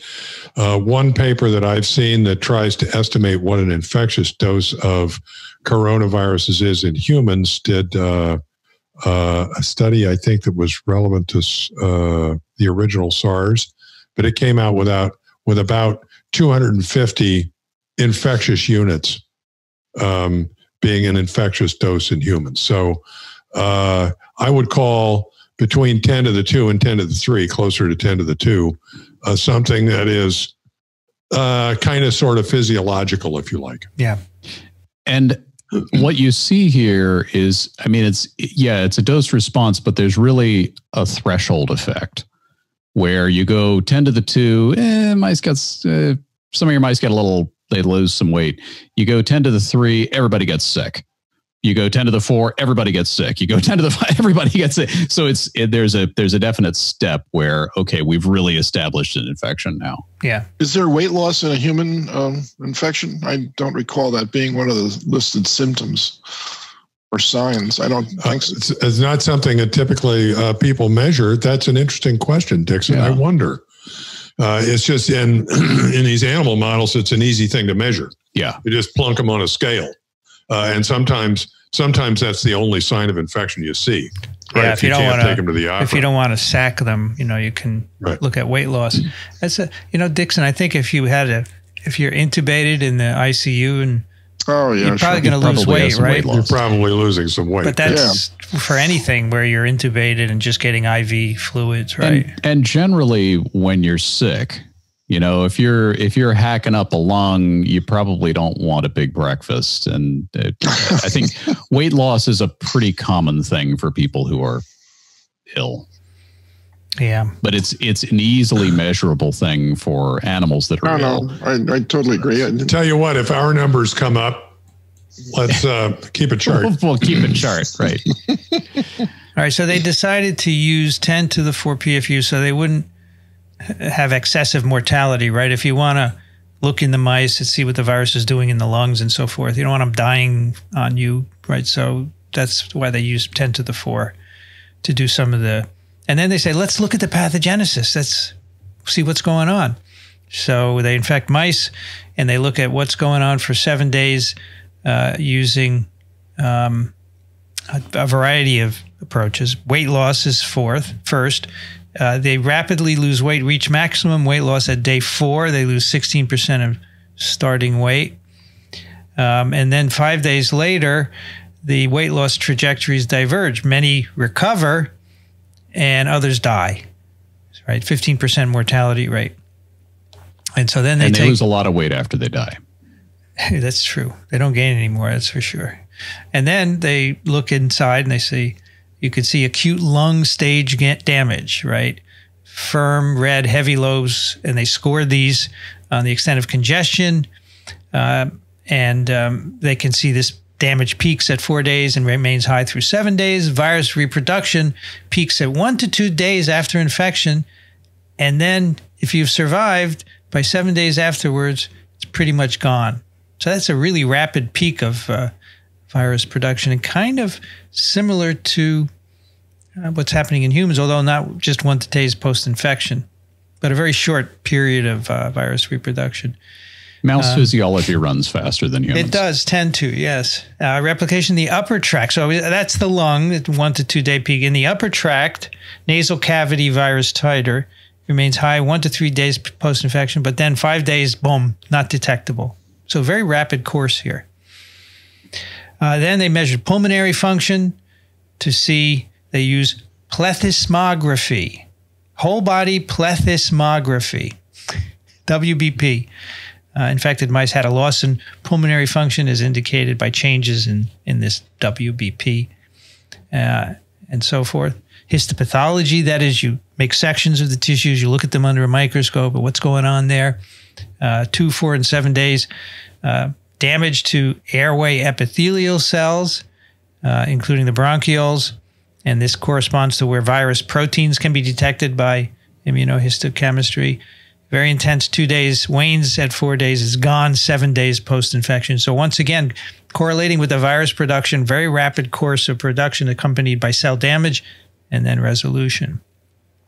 Epithelial denudation. What does that mean? Well, the epithelium is being stripped off, it's being killed. Um, and lots of inflammatory cells are coming in, cellular debris, fibrin deposition, plasma proteins in the lumens. And then afterwards, the cells start to regenerate. That's called hyperplastic with regeneration. The epithelia starts to furiously regenerate, and you can see that. Uh, they can also they also looked in the alveolar ducts and sacs. You can see that they were altered by infection, damage, and so forth. Um, the most severe lingering damage over time was in the alveolar region. So this is not just an upper tract infection. The virus is getting down into the lungs. Clear, not of every animal, but at a good fraction of them. They also one of the things that uh, sorry, no, no, go ahead. One of the things that caught my attention was this bit. Now I didn't get into the supplemental data, so I just took their word for it. They say low levels of infectious uh, virus were present in the serum, minimal mm. virus found in the heart, right, which may reflect residual virus from the serum. Viral protein not detected in heart, liver, small intestine, kidney, or spleen. So we've had uh, some discussion here about the degree to which SARS-CoV-2 in humans can go systemic on you, okay, and infect other organs and et cetera. And I think uh, it's not clear what's going on there. I've and I've heard sort of conflicting conclusions because I think it's not clear. Yeah. In this mouse model, it's a model. All right. It seems to be primarily confined to the lung. It seems to be primarily a respiratory infection.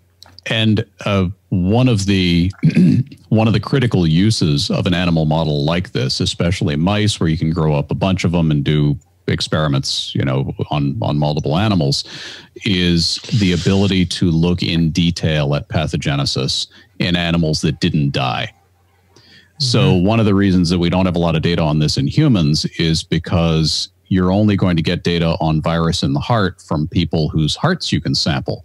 And that's not something you do when somebody got over it, yeah. I hope. Yeah. Um, so, that's right. So, and there's a lot of evidence that, you know, maybe the people who are dying of this, the virus is all gone by the time they're dying.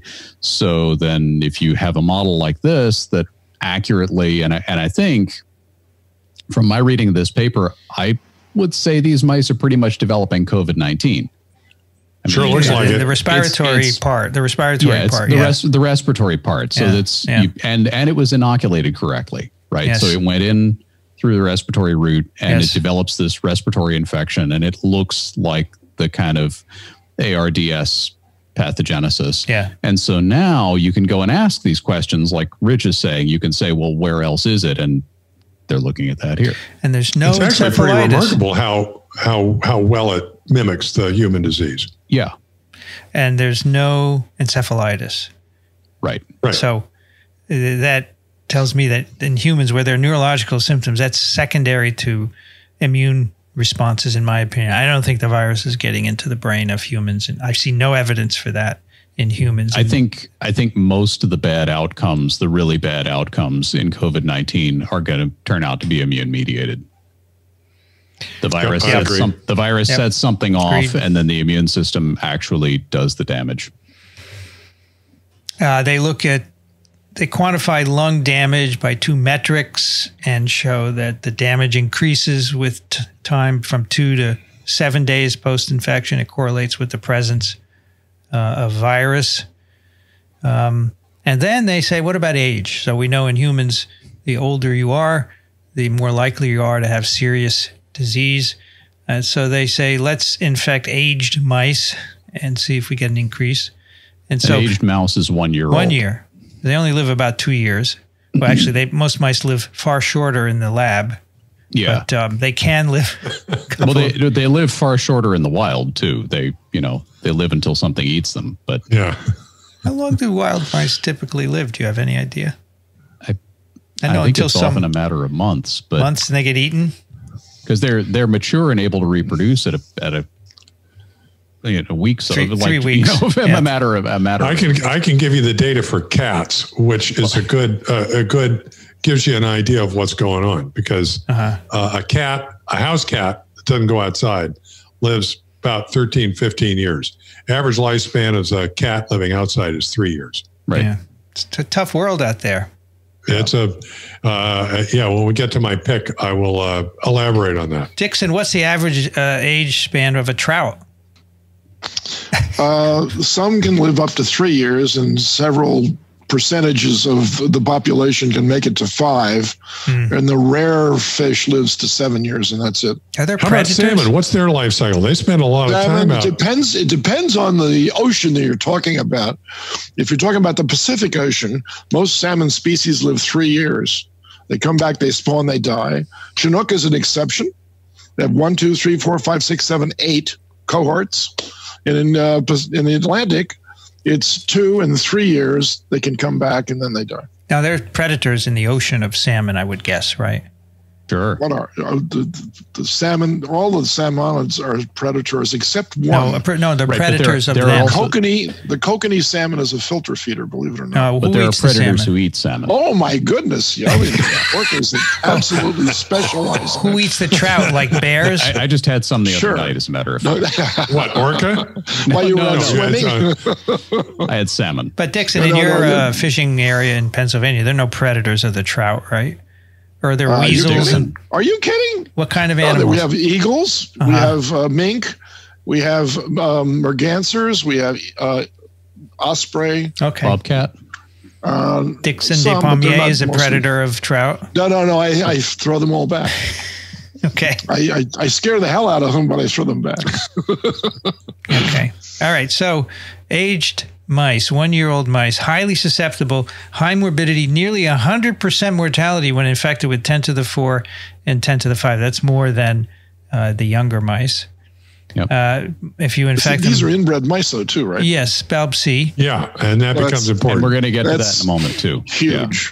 10 to the 3 PFU, uh, these animals rapidly lose weight. Very few animals surviving. 10 to the 2 PFU, all of them survived. So they say that's the threshold to cause disease. 10 to the 2 or higher. And that's probably because it's establishing the infection and proceeding. And you could do these experiments in, um, in animals. That's why people are asking us, you know, is there a, a threshold for humans and what is it?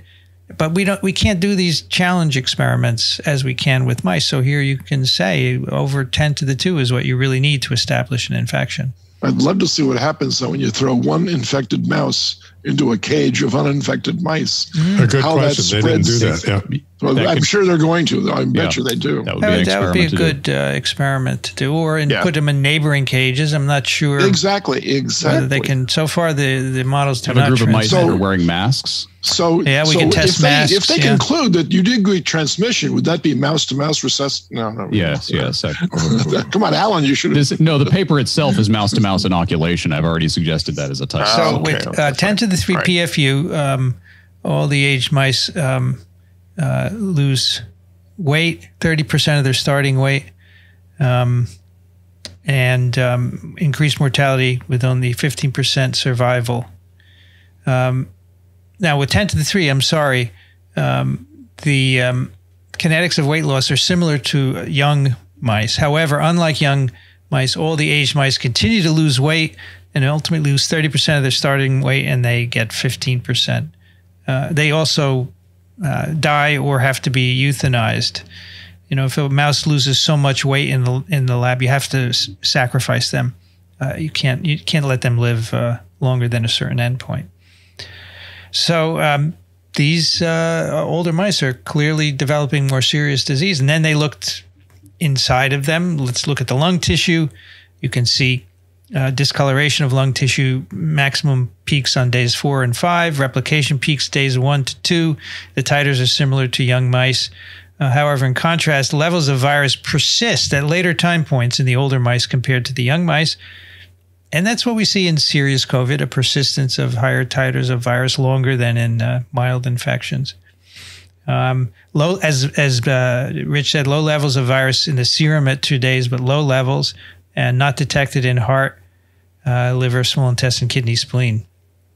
Old mice had t- a virus in the nasal cavity over the first three days, same as young mice, um, and also their young, their lung function was disturbed as it is in young mice, but it's more prolonged. So Uh, and then the, these histological analyses, they score the lung damage. They had more severe uh, damage scores than uh, in young mice. Yeah. So all around, the older mice get a lot sicker. Yep. than Which the is a good. mice. It's an age dependent illness, as in people. So it's Yes, good. You can and study this it. Is, this is shaping up to be a really solid model. It's a great model. These are both sexes that they're looking at the whole time. I would hope so. I Did would they hope say? so.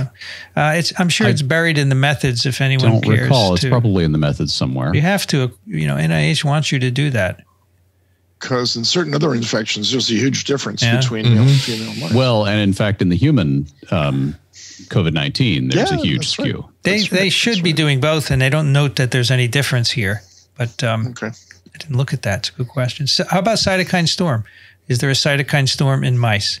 So they looked at chemokines and cytokines in the serum and lungs of one-year-old mice at two and four days.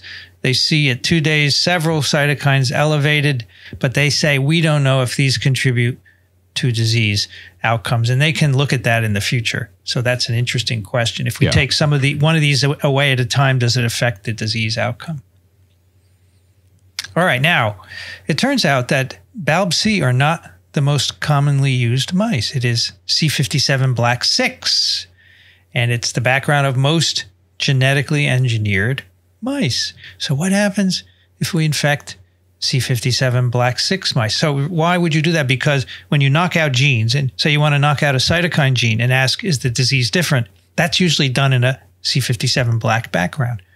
So, they say, are these mice equally susceptible? Do they de- de- demonstrate the same illness?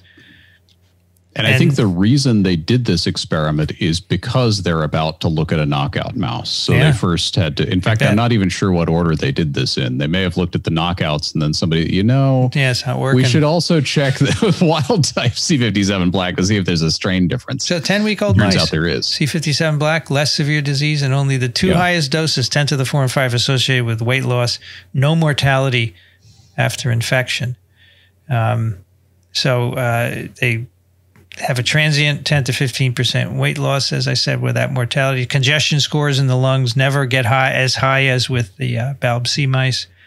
Um, uh, clear peak in replications on two days, which is about an order of magnitude lower than in BALB-C mice.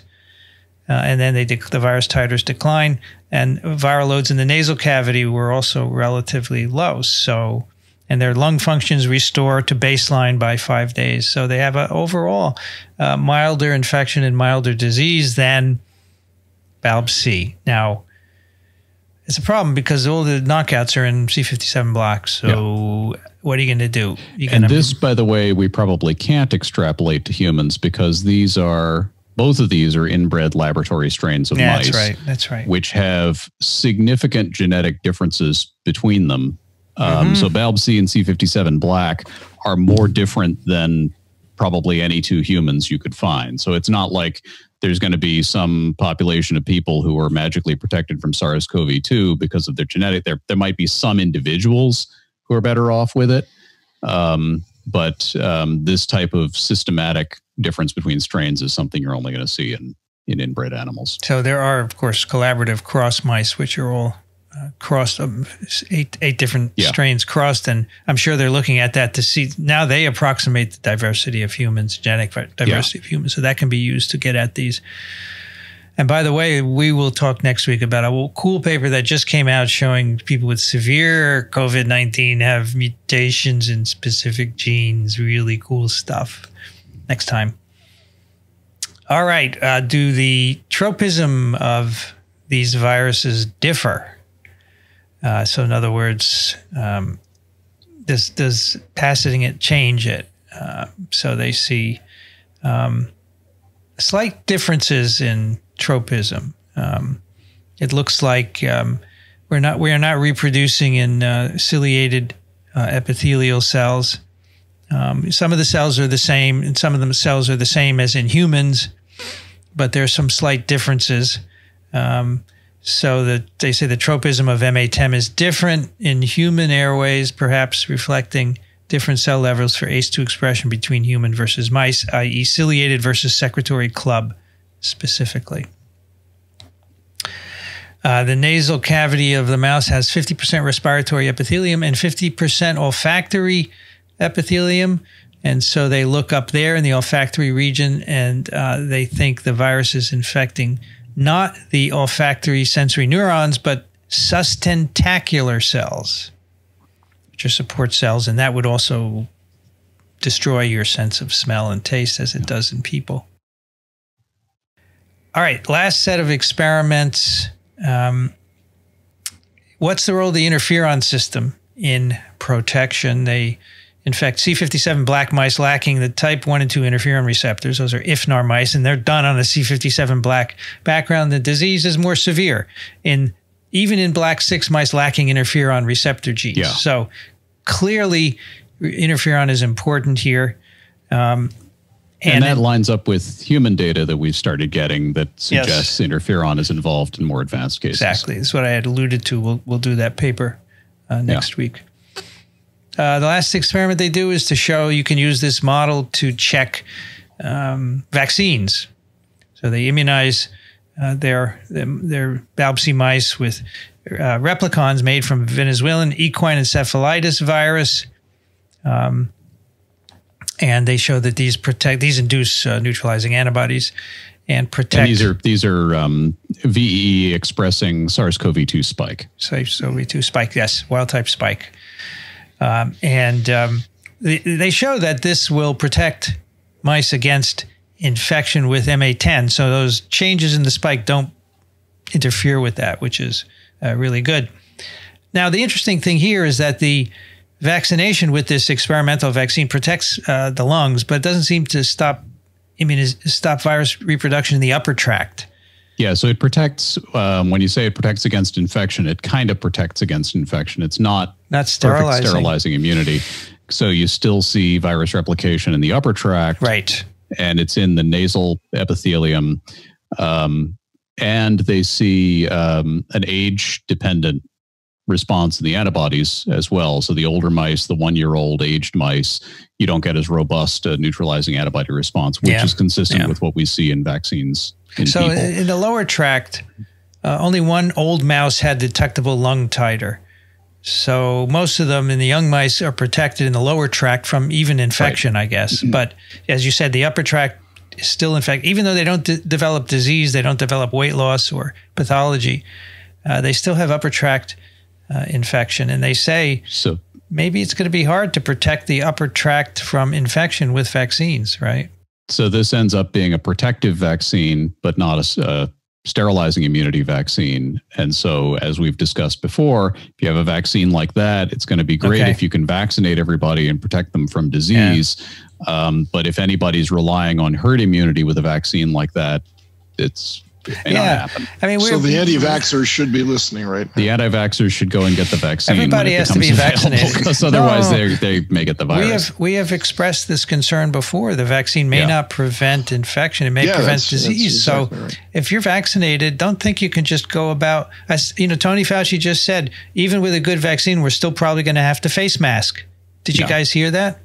This is Yeah. probably why you can still transmit. And Wow. and it's not going to be i mean people have have frequently discussed oh well the first people we vaccinate besides the the most vulnerable populations would be the the medical community for the the first you know the people who are who are treating patients. But um you know you do that it just means they're going to be asymptomatically infected. Yeah, so they would still act as carriers. And and yeah you should immunize them because you should be protecting them from disease. Um, but they shouldn't treat that as oh well i'm immunized you know now i can throw away my n95 mask It would be fascinating if this mouse model actually turned out to predict if this the situation that- in humans. and i you know? assume that uh, that ralph and his team are taking the uh, either the vaccines that are currently in trials or very close copies of them and popping them into this I hope so. model to see this what kind of the results first they get. good model. Everybody needs to be using this now. Um, by the way, remember, mice lie and monkeys exaggerate. monkeys exaggerate yes I wanted to Yeah, so it's possible, even with all that gloom and doom we just gave, um, it may be that the very first vaccine out of the gate is wonderful and provides perfect sterilizing immunity. And gosh, I hope so. Um, you know, that'd be great. You should still get the vaccine because you get relying on herd immunity is Yeah. kind of um, kind of dicey. Um, but uh, but this is another warning that that may not happen. So I wanted to Uh, you summarize. know, that- that- go ahead. I wanted to summarize the tropism because I didn't um, do a good job. But maybe you're talking about vaccines, Rich. In which case, go ahead. Uh, I just I just want to say that you know this idea that a vaccine may only protect against disease and not infection. To me, that's not a gloom and doom scenario. Oh no. You know, once you've distributed enough and you got uh, enough uh, uh, immunity in the population, okay, it's uh, basically going to take care of the disease. Simmer.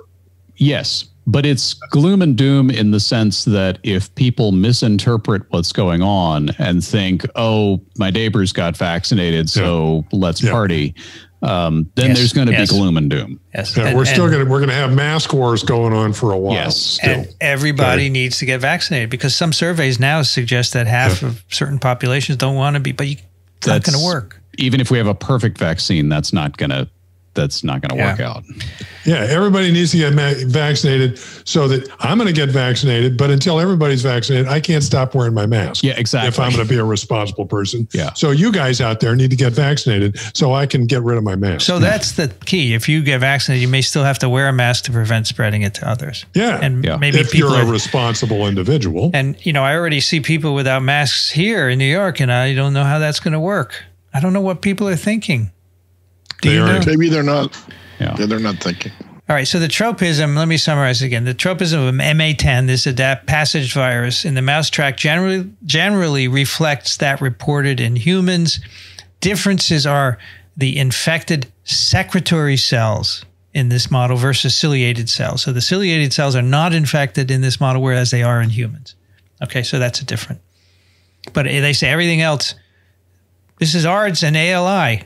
Really, it's a, it's the first model. All right, now the mutations. What are they doing?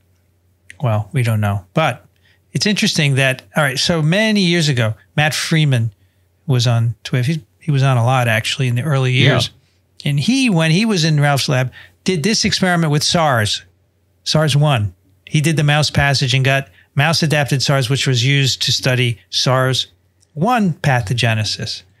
And they say that the changes are all different different proteins between the two viruses. Quite interesting. So, what about the ones here? So, they have another spike change, which they think may be enhancing interactions with uh, the mouse ACE2. Uh, then they have uh, ORF6. They say this is interesting because ORF6 is an interferon antagonist. So, you, this change must be improving its interferon antagonism, right? Because now it, the virus is more virulent uh, in mice. NSP7, oh, here's the cool part. This is very exciting in my view. NSP 4, 7, and 8 are needed to create the membranous environment in the cell on which viral RNA is replicated. So they are needed to get efficient replication. And so I think the proteins have changed to better interact with mouse proteins that help to induce uh, that membranous environment.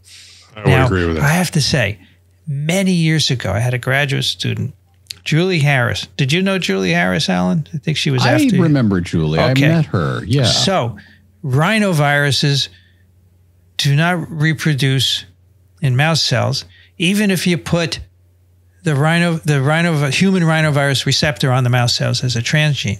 But she passaged the rhinovirus in mouse cells and got a variant that would reproduce in mouse cells. And one of the key mutations is in a protein that's involved in generating the membranous web for RNA synthesis. The same idea. Okay. Unfortunately, we took that virus and put it in mice years later, and it did not cause disease in mice, but we didn't pursue it. Okay, so they per- they passaged their virus in mice, which we didn't do. We passaged it in mouse cells. Am I making myself clear? I'm very excited Yes. about this. This is a cool Yeah. thing.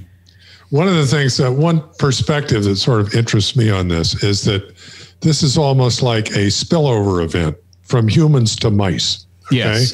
and one of the things that one of the things that uh, uh, we would like to know is you know when you're seeing a spillover in, event from bats to humans for example uh, what what's required what sort of changes are required uh, to adapt to humans, and we don't know. I go back to this conversation I had with my wife early on that I've talked about before, where she says, "Well, you know the sequence.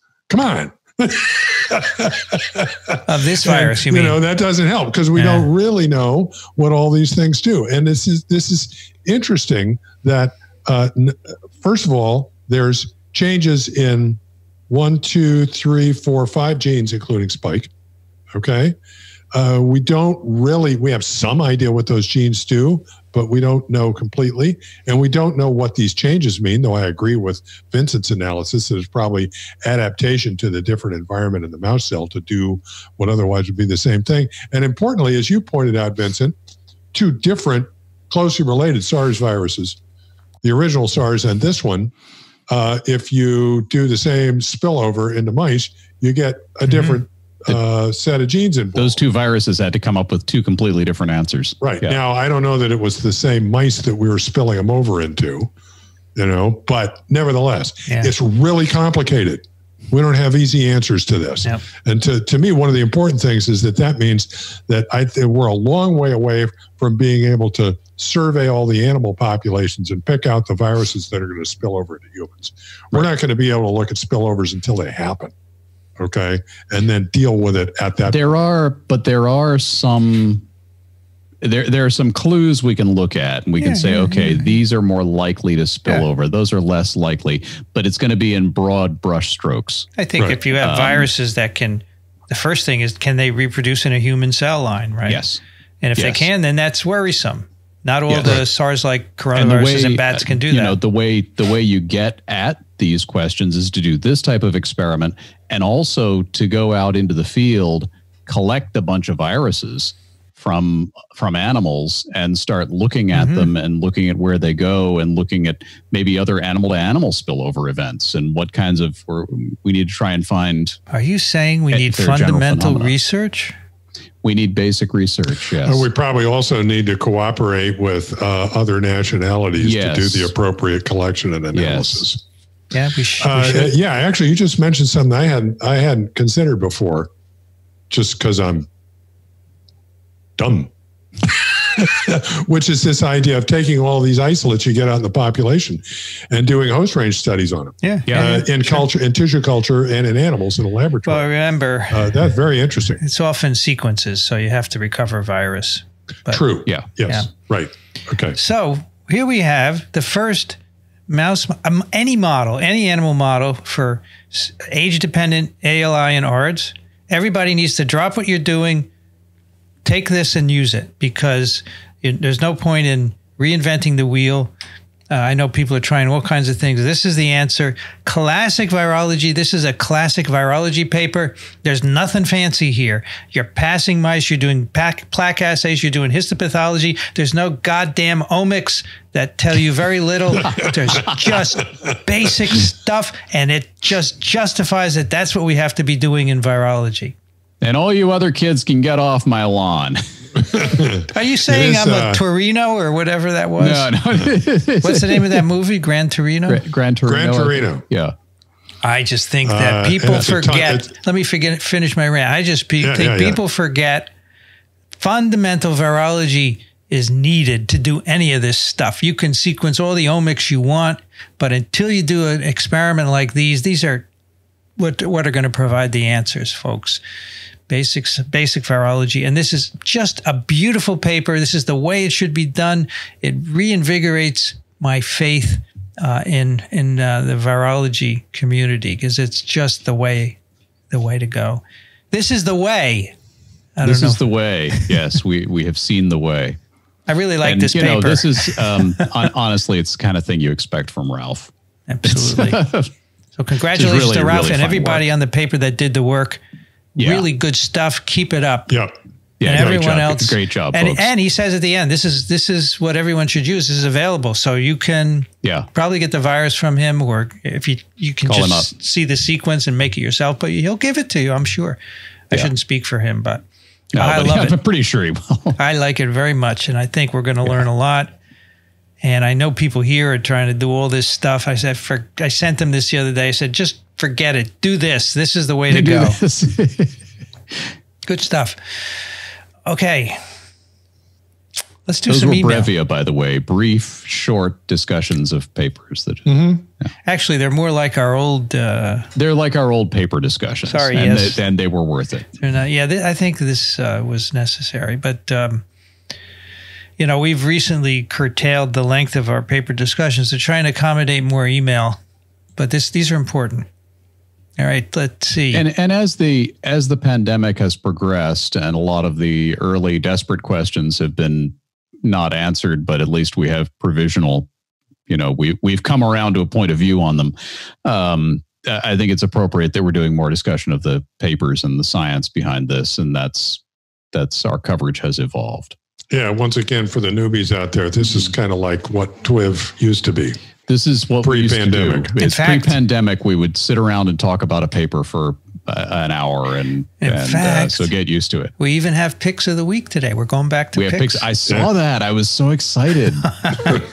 and I've started putting picks of the week on my blog. They're not necessarily science, but people had asked me for recommendations of some stuff. And I said, Yeah. "I'm fine. I'll just blog them.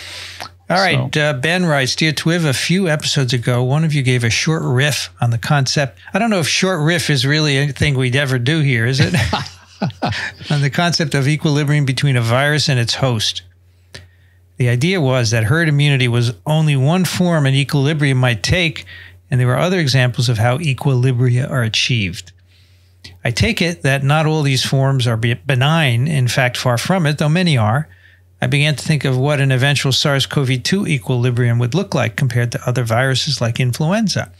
One hypothesis is that SARS CoV 2's equilibrium results in it being another common cold coronavirus, dangerous to the frail but otherwise largely benign. Oh, this is someone who listens to us. Yes. Compare that to influenza's current equilibrium, killing 290,000 plus worldwide year after year after year. I don't think this insight, such as it is, has any import for current policies.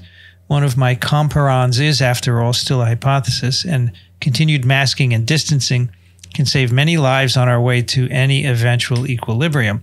Perhaps it serves more to remind us how bad influenza really is, but a balanced consideration of which is worse, COVID or influenza, may have more to it in the fullness of time than immediately meets the eye. Uh, ben is a retired U.S. Air Force in California. I, I absolutely agree.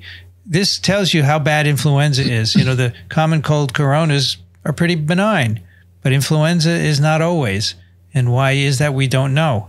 But uh, yes, influenza does not achieve this equilibrium uh, that the, at least the common cold coronas know. So it's beautiful thinking. Very nice, and, and a major, probably the biggest reason that influenza doesn't achieve this sort of relatively benign equilibrium is that it changes so Yes, much from year to year, whereas the coronaviruses don't.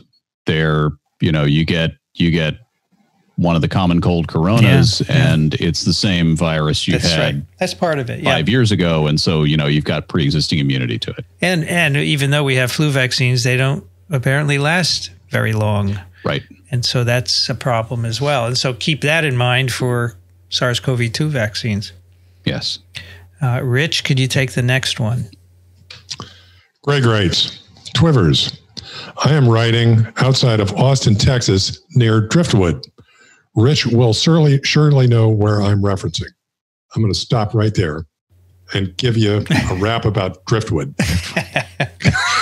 Because this, this got me going. I love this. So I live in South Austin. I probably live about mm, 20 minutes from where he's talking about. I live in very South Austin, and and if you if you if you drive, you know, five minutes from where I am, it drops precipitously off from Austin into Texas. Okay, From Austin into Texas. That's good. and uh, uh, Driftwood is I would call in the sort of foothills of the Texas hill country. Really nice countryside. Um, Is it near Dripping Springs? it is near Dripping Springs. There you go. Very good. Very good, Dixon. There you go. And we have occasion to drive around this area. We have a, uh, when there's not a pandemic around, a weekly drive to Wimberley. And actually, we visited uh, some of the places that he uh, mentions here uh, the Salt Lick Barbecue, which, uh, you know, barbecue in Texas is uh, as much a cult as it is a cuisine. I think Salt Lick, I'm going to get mail for this, but I think it's overrated. But there's another winery nearby with a Trattoria Lisina that's a really a delightful place to eat out in the country. And as you're traveling through this, there's all these signs that say you're going to Driftwood. Okay. And then all of a sudden, the signs are pointing the other way. Like, where was Driftwood? Okay, and I Driftwood, and the just side says leaving Driftwood. This actually happened to me. I went through this intersection with an uh, uh, uh, old defunct Texaco station on one side and a church on the other side, and all of a sudden the, the signs were pointing the other way because I was looking for Driftwood. I actually stopped the car. It. I stopped the car and turned around and went and I said, "Is this Driftwood?" And it is. Driftwood has a population, according to Wikipedia, of 144 and is 1.3 square miles. That's pretty but gross. but everybody knows, even Dixon knew that it's near Dripping Springs. Too bad. Dripping Springs. I've been to Dripping Springs. It's a beautiful place. Actually. It is. All these uh, the countryside here is very nice. So, Dripping Springs. I just had to rant about Driftwood for a 2nd uh-huh. It is 76 Fahrenheit, and it's a beautiful day to be alive. I am just an ER doc that found you when EM:RAP, an ER education series, mentioned you in March. That's great. TWIV has become my favorite new entry on my busy podcast feed. I have become obsessed with this pandemic. It offers so much to learn and explore regarding a vast number of disciplines virology, and more broadly, microbiology, epidemiology, medicine, economics, and sociology. It has cast light on our society's structural racism, igniting uncomfortable yet necessary conversations. It has revealed humanity's potential for good in the face of global adversity. If the pandemic wouldn't have uh, so much suffering, death, and activity restriction, I would feel fortunate to be living through it. but that's not why I write. It's clear you know these things. Instead, I want to share an experience and a passion as they relate to the pandemic. The first is a weird phenomenon I experienced over the last months. I knew something was happening. I just didn't consciously understand it until you pointed to this podcast by Thalia uh, Geigerns, uh, um, Gigerenzer? Gigerenzer. Thalia's podcast is a great podcast that uh, profiles the show. After listening, I realized I wasn't alone. I had developed a friendship with people I'd never met in person. You've mentioned this before, but your conversations really do make me feel like I'm sitting at the lunch table discussing virology and this pandemic with my friends. As a result, when I'm at that lunch table, I get an overwhelmingly sense that it's overwhelming sense that it's going to be okay. I like that. Your conversations take me back to one of my happiest times, college at Washington University in St. Louis. I almost went down the microbiology career track. I became enamored with molecular biology and spent a semester in Eric Richards' lab back in 95. Apropos of today's conversations, I was playing around with PCR. Regarding TWIV, I love the thoughtful conversations, the banter, the reviews of important papers, the interviews, really all of it. I even love the misspeaks and the medical slip ups, which remind me that we're all human and that you are not uh, and that you all are not physicians, which I sometimes forget. By the way, Daniel Griffin is very good. His breadth of medical knowledge and ability to spring, explain complex tox, uh, topics is excellent. None of that compelled me to write, but without this context, the real reason would be out of context. What really compelled me was Vincent's apology to Dixon. It really touched me. We're all aware that we are often harshest to the people we are closest to. Regardless, the apology was heartfelt, needed, had no excuses, and was direct. Dixon's acceptance was touching and on the point as well. The apology was needed. It is what friends do, and it reinforced why you all are important to me. Phew. The second reason I write is related to something that I think you and the TWIV Nation might find valuable. I started writing about the pandemic to friends and family back in mid March. I write as a scientifically minded ER doc attempting to explain all relevant pandemic and medical science to the non medical and non scientific crowd. It took the form of letters to humans. They were daily for about one and a half months, and now they're weekly. Uh, the receipt list grew to the point that Gmail would not let me send them from my personal email. Then recently, I migrated to a website, www.letterstohumans.com. Uh, and he gives a link to the About page, or that is the About page. The 70 plus letters are tagged and searchable. I reference TWIV a lot, linking to short highlights, insightful summaries, and important tidbits. Here are some of the letters I would like to point to you if you're interested. Uh, the letter Postscripts Rock is where I wrote about what TWIV has become for me. It's about halfway down. The now infamous 640 episode was covered in Game Changer. A couple of other ones where TWIV is prominently mentioned to test or not to test. Good science takes what? Mutations don't matter. If I were to direct you to every letter where TWIV is referenced, I would literally have to list over half of them. Please share letters to humans.com. While many won't listen to a two plus hour podcast, good scientifically minded and thoughtful information is important and unfortunately hard for many to find. Perhaps TWIV Nation can use letters to inform their friends and family. Importantly, these letters are a way uh, your impact is being amplified. Keep on twiving. You are what you are doing matters. Thank you. And now for my standard salutation stay emotionally connected and physically distant Greg. P.S. Regarding the glasses fogging in 665, remember, um, Greg is a, an ER doc. I'm glad Vincent mentioned the JAMA uh, Ophtho article that he and Daniel discussed in the medical update portion. The article noted the observation that glasses wearing folks have lower hospitalization rates than glasses less crowd. With all this focus on mask, we seem to be ignoring the eyeballs. As a person who wore a mask even pre pandemic when it worked during procedures, I'd like to point out two things. Glasses are fogging because there's not a good seal around the nose piece. Notably, I was able to essentially eliminate fogging when wearing a non medical mask with a simple plastic nose clip I found on Etsy. Secondly, please read What the Heck is Doffing, where I discuss advanced maneuver number 21. This, this entails placing a little paper tape on the nasal bridge to create a good seal. There is an accompanying picture. One piece of paper tape can last longer than you would guess. I guarantee both will eliminate or at least greatly reduce fogging. This should allow people to keep wearing their vision enhancing eye protection. Isn't that what Kathy Excellent. said last time? To put a little piece yes. of uh, tape over yes. here? Yeah. Yep. Greg, cool. this is a Very wonderful, nice. wonderful Thank letter. You. This is a win- winner, and we will uh, post your link to uh, Letters to Humans, and we really appreciate it. By this the way, it's and a really good site. I checked it out, and uh, he, he he summarizes a lot of our episodes and other stuff, and really well done. Good job. And I think Greg and I probably ought to do lunch at Trattoria Lisina when all this lets up. Yeah. So stay in touch.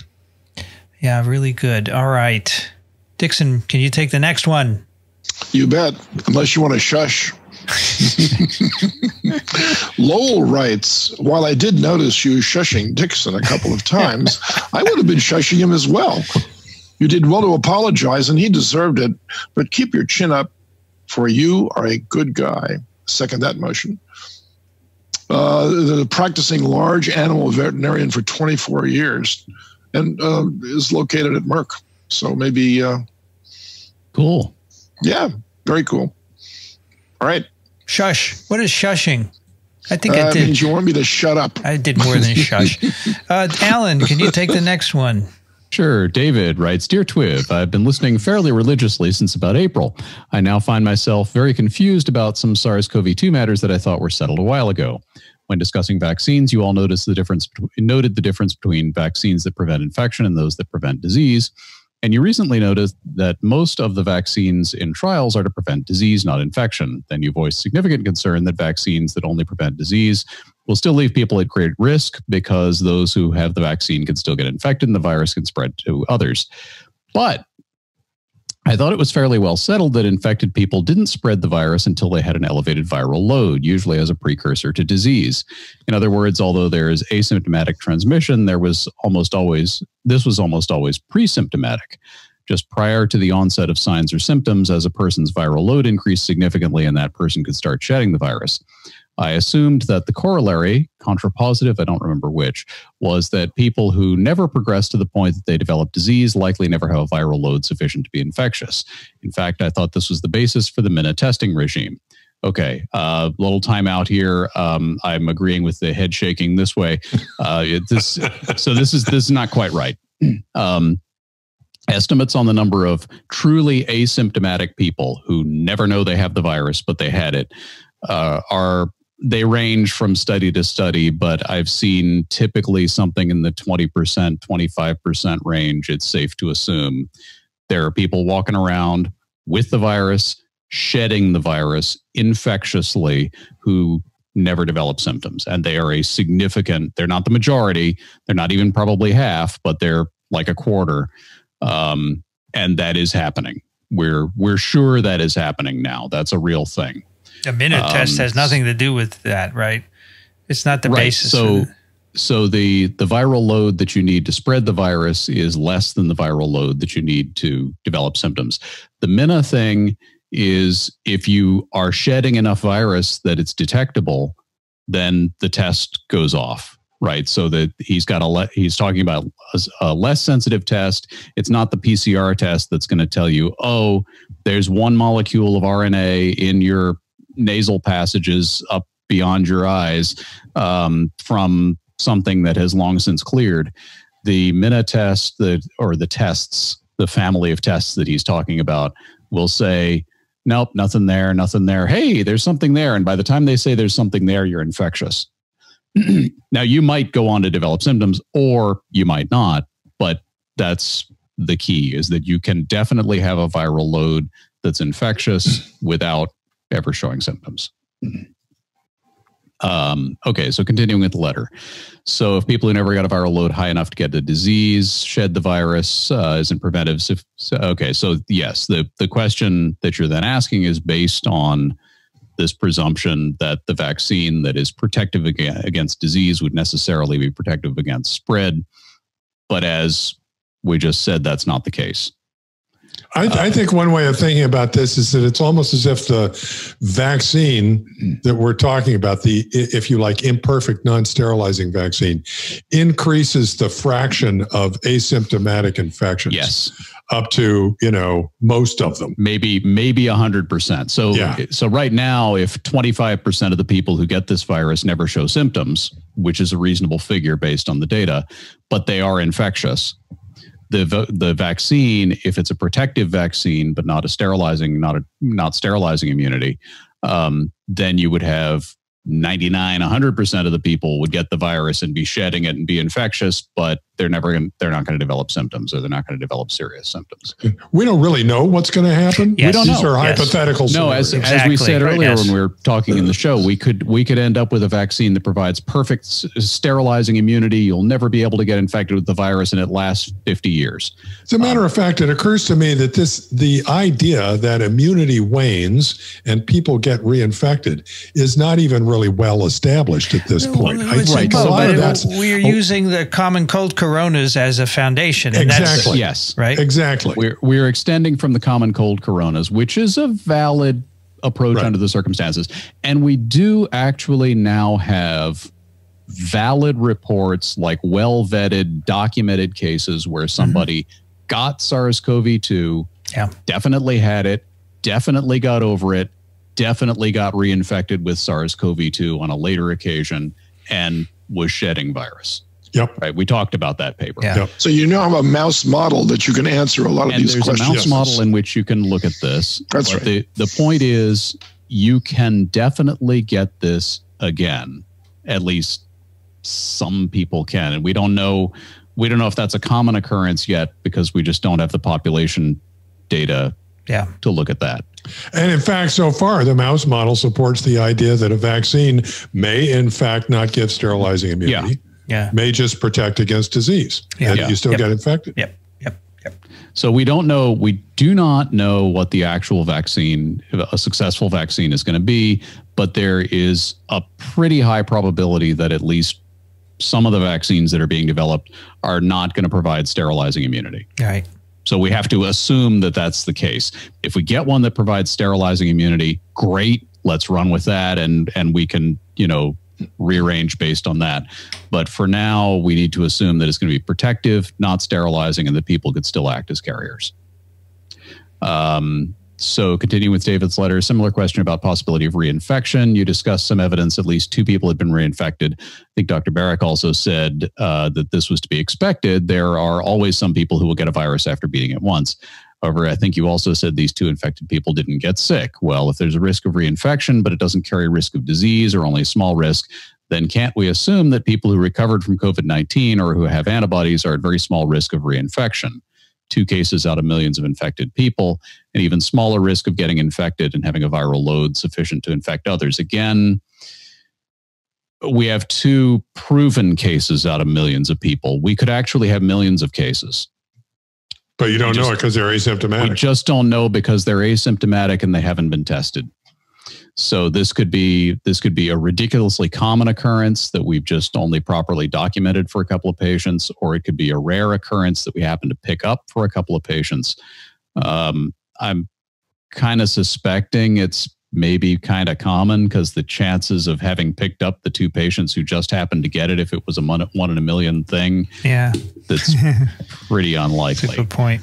Um, so I think this is this is probably going to turn out to be a common phenomenon. I don't know how common, and the the whole you know if you're protected from disease, you're not necessarily protected from being a carrier. Um, then maybe I'm looking at all at this all wrong. Yes, but we corrected above. and apologies if I've got some terminology wrong. Um, anyway, thanks for all the great information. Now, if I can only explain to my friends on Facebook that just because they didn't get very sick from COVID 19, it doesn't mean they have a less dangerous strain of the virus. Good luck yes, with please that. do explain that to them, David. Good luck. I that. wouldn't. Uh, I wouldn't say you got it all wrong. I would say you're asking all the right questions. You're asking all and, the right questions. and questions. thinking about That's- it correctly. Yeah. Exactly. And, and the only reason we can answer these questions is that we actually have the data Yeah. now. Yeah. I mean, a couple of months ago, these would have been questions like, I don't know, I don't know. Um, but now we have these these reinfections where we can say, okay, this is what's going on, and we can look at the common cold coronas and see this one is behaving a lot like that.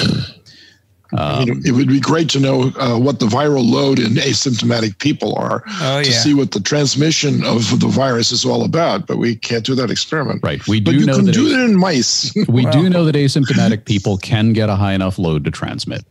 That's right. I think But we don't uh, know. We don't. We don't have detailed dynamics on all that. I mean, they could get really high levels and still not get sick Yeah. because somehow Yeah. they're protected against the Yeah, pathogenesis, right? And and we Yeah. also know that the worst pathogenesis, as we were talking about earlier, is is not really viral.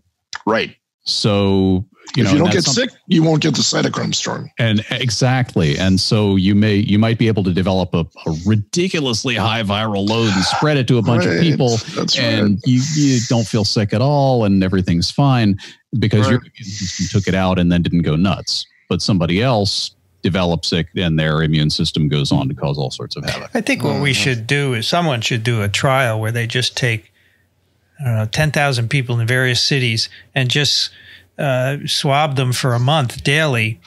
And that way you're going to pick up asymptomatic infections. You can look at the Sure, kinetics, sure. right? Yeah. Sure. That's something that needs to be done. And, uh, but I, I'm not So aware. phase three trials, are we going to look at their antibody titers? Oh Yes. yeah, good point, Oh, yeah. Vixen. Uh, Dixon, uh, So- Dixon. Yes. Good point. It's okay. So 30,000 people, you should pick up those 20% that are going to be asymptomatic carriers Yes. in that trial. Yep. Sure. Yeah, Yeah, but you'll the, see that. the antibodies a one shot thing, though. I'd like to have a daily, you know, Yeah, well, I agree with you. No, I totally Yeah. agree with you. Yeah, you'd like you'd like a time series in, in one individual, absolutely. seeing the infection, seeing it go away, seeing it No come back maybe, and then The natural history of the viral infection. natural history of the virus. I think that's going to take it. a few You years because right now anybody who's signing up for clinical trials, they want to put them in a vaccine trial. But yes, those vaccine trials are looking at some data that will be tangentially answer answering some of these questions. Yeah. All right, let me take one more and then we can move to picks. Sure. Uh, this is from Wayne. D- Dr. Vinny, hope you're well. Just read this. What's up with the CDC? Would you pr- please bring this up on Twiv? We all need truthful, clear, and scientific answers on this. Many feel the CDC is unri- unreliable on issues concerning our virus issues. And uh, he sends a Politico article uh, from uh, September 21st. CDC backtracks on warning that coronavirus is airborne. So you may see some time ago, the CDC posted an article saying that the uh, virus is airborne, which means it's in the tiniest droplets that can travel long distances. And this was worrisome. And now they say that was just a draft and we posted it in error and we're updating our recommendation. So I don't know if this is wrong. Why would you even have a draft? I guess it's like you have obituaries ready to go, even though people aren't dead yet. I don't. Oh, they do. They, Yeah, Yeah, no, I know they do. They don't have mine. I can assure you of that. But uh, they have famous people. But it Oh, is you'd be not. Uh. I mean, the point is that there is some airborne component, as we have all said at some time, but we don't know. It's not the majority of air transmission. Most of the air transmission is via the big droplets that fall to the ground within five, six feet or so. And the smaller ones are happening, but under special conditions. And so I guess CDC. Yeah. I, I think a lot of this is just a lot of uh, flap about how exactly do you describe this accurately. Okay. yeah. And people blow it. Okay. And then they say, ah, they're getting the wrong impression. We got to change how we describe this. Okay. And, you know, people are all, people are all on edge and they're, uh, they get upset prematurely. Just calm down. Okay. Think and, and I think in this case, it was it was an honest error by the CDC. I don't think this was one of these political things where they accidentally said the truth and then were forced to recant it because Yeah. that was not consistent with the right. With right. an ongoing campaign. Right. Um, I I think in this case they probably posted something that they they wanted to phrase a particular way and they phrased it badly and it got and then they realized oh no we didn't mean airborne airborne we meant uh, no I don't know how they can do that. I've never made a mistake. no no I, we don't make mistakes I mean, Twitter. the problem is, what do you I mean do. I mean, when you when you cough and sneeze and talk, you make droplets that are in the air, Yeah. so they're airborne, and maybe people. they are airborne yes. So, but aerosols is what we used to say for the tiniest ones, and the droplets are the bigger ones. And so, Yeah. saying it's airborne is okay. We've always known it's tr- it's transmitted in the air, but if you mean airborne as the aerosols, then it's not right. So, right this is just. And it's but- not a black and white thing. it's not like Yeah. you're Right. infectious out to six feet and then it Yeah. stops then dead. zero right H- However, as we have said before, c- CDC has made mishaps. And um, on multiple occasions, it's the people high up that are responsible. You know, the, Yes. the scientists who we know, we're, we have faith in them. They do good stuff.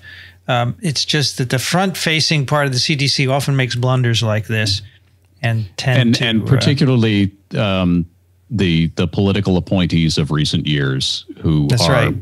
who are now beholden to non-scientific viewpoints and Yeah. and and I know we have people at the CDC who listen to the show, and I, I really y'all I feel for you. It's I mean, this uh, aerosol is not the first time. Remember, they said, oh, if you were in contact with a confirmed infected person, you don't have to be tested. Now they reverse that. that as was a political reversal. Yeah, so that Right. was that was one where they they accidentally, um, you know, they they were speaking the truth, and that that was a problem because they were saying people should get tested if they'd been in contact, and then they said. Well, you know, maybe you don't have to get tested, and and of course you have to get tested if you think you were in contact with somebody who has this. Okay. Wait a Let's- minute. Finish the letter, Vin. Oh, sorry, sorry. Yes, I don't mean not to finish it. Yes, it's very nice. Um, now I have to scroll all the way up. Okay, by the way, your apology to Dixon was very honorable and in true samurai fashion. Stay strong and well. Wayne is in Wakayama, Japan. So give me a sword, Dixon. I'll I'll impale myself. no, no, no, no, No, no, no, no, It's- no. Samurai No, no, that's not No, what he that- means. That is not what he No. means. I thought they, they do a harakiri. No, that's only when you're not apologetic. you would apologize to yourself at that point. so the samurai. No, we're done. We're we're we're we're, we're balanced. The samurai were honorable, right? They Yes. were. Yes, But they were that- also absolutely cruel people in some cases. Yeah. Well, it was a it was a feudal society. It was it, the um, They reminded me of the Cossacks. okay, but- but, but- also Europe in the Middle Ages. But honorable in Yes. the sense that Well, they had a code they to live did by, they did Yeah. what they yeah they had a code did. right yeah, now I am but it was very not a rigid, cr- uh, rigid code. I have to tell you I'm not a cruel person I, We do know this. just so you know okay all right let's take some picks Me neither. picks Yep. wow picks of the week picks of the week. By the way, folks, those of you who have just joined us, we uh, used to do these picks. We're going to now resume where each of us picks something that we want to pass on to you. You know, in the beginning, Exactly. we're supposed to have a science bent, but then, like everything else, uh, We digressed. we digressed. Dixon, what do you have for us? Well, I've got a follow up on uh, this uh, epidemic, this pandemic, I should say, because the pandemic, uh, at least for a while, created a, a lull in human activity outdoors. And it alerted wildlife to the fact that uh, are they gone yet, so to speak? And you know, and they would come back out and peek around the trees to see if nobody was there, and nobody was there. so they kept coming out further and further, and pretty soon you had moose walking across your front lawn, etc. So that is a hint of the fact that what it would look like if we did go away. And of course, we're not going to go away, but people are the populations of people throughout the world are not similar in the sense of density. And Europe is one of those good examples where the population density is actually going down. As the result, they can afford, at least that's the way they look at it, to give land back to nature and to let it, and the term they use is rewild. So this is this this is the uh, Rewild Europe website, and it will show you the progress just over the last 40 years in restoring wildlife without having to lift a finger. All you have to do is leave it alone. And we don't know how to do that for most of the other things. Rich, I, I can see your face and you know damn well this, this is true. You can go anywhere on this planet and find evidence of humans. Even down Yeah, to the oh, yeah. Marianas Trench. You can go to the bottom of Marianas Trench, they found a newspaper. That's not Was, some- funny. was somebody sitting there reading it? No, well, no, but that was a good uh, visual. I, I, Uh, yeah. So I've I'll been, cherish that. So, um, as I've said before, uh, my home is now the schoolhouse for my grandchildren right. uh, when they're in virtual school. And uh, uh, after school activities, we try and, you know, uh, make some of it, you know, a little bit uh, intellectual, if you like. We've been watching nature shows. There's this new um, yes. new nature show on um, PBS that's a three part series about islands. Yes. Yes. Wonderful. And, you know, Wonderful. They just the, did uh, Borneo. It was fabulous. they just did Borneo. We watched that yesterday. yeah, it was and great. this is not Rich's pick, by the way. No, no, he's uh, sort of actually he's actually it's, piggybacking on mine. it's it's re- it's relevant, and uh, uh, you know one of the messages Right. in all of that is always how badly the or well, I was going to say how badly the humans screw things up, how much they change it. Okay. But I love and, their you know the Borneo that didn't happen until the end of that episode, and it started started talking about you know the clearing of the forests and stuff like that. And Porter, nine years old, goes, "Oh no, not again." yeah. did you see what they, they what they did with found plastic along the beach though? yes, right. In the beginning Like of this, they said lures. They melted it down and made a blue crab, which they then used to lure up octopus off the reef. Yeah. I thought that was fabulous. And I also was stunned to realize how much of an effect bats have on the understory of the forest. Yep. They eat all the pollinators. Yep. And as a result, there are no plants that grow down on the bottom of forests next to uh, bat caves. So this that's- rewilding Europe is a um, uh, what, what are they? A non nonprofit? Yeah. Okay. Cool. Absolutely. It's probably part of the EU if you look hard Right. enough for it. But um, they're re- make, making remarkable progress. They have wonderful maps that show areas that used to be habited, inhabited, and now it's not. Yeah. And the animal life has just come right back. I mean, it's Cool. just come right back. And so it didn't actually go away. I was right about that. And they have a Wait, there- cat video on the front page of their website. So There, there you go. So this is the big hope for learning how to live our own lives without spoiling all the other lives on this Cool. planet. So that's why I put it up. This is why Great. we like picks, folks. Yes. Yeah. Rich, Here, uh. Alan, what do you have for us?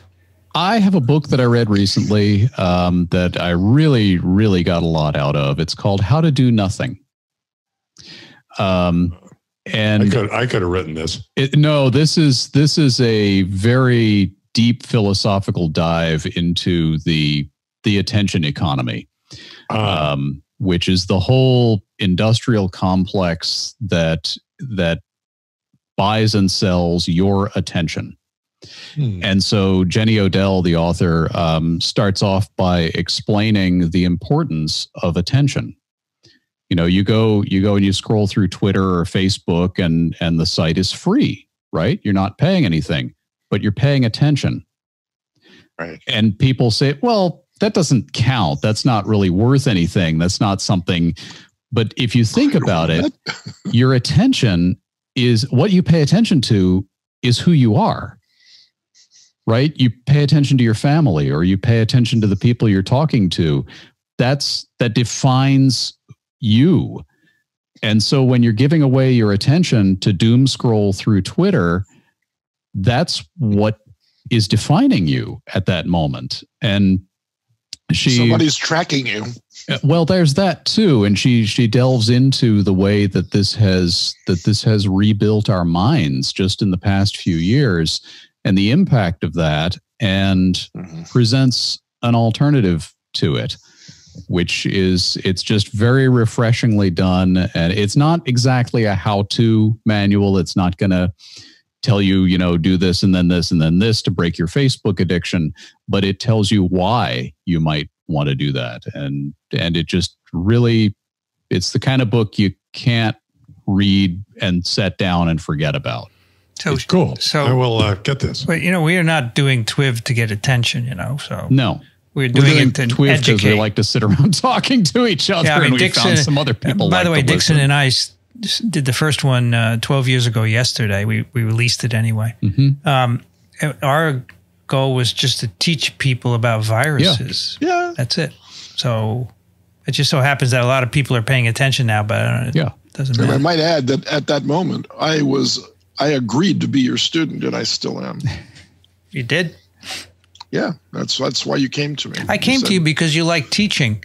I knew I do you. love teaching, and I also like learning. And I, I thought this was a wonderful opportunity for me to actually learn something. You're the think first person I thought because you were a wonderful teacher and communicator. That's and I very thought nice. you would So, be well, a good person. Looks like it's worked out. It seems to have, yes. You bet. Rich, what do you have for us?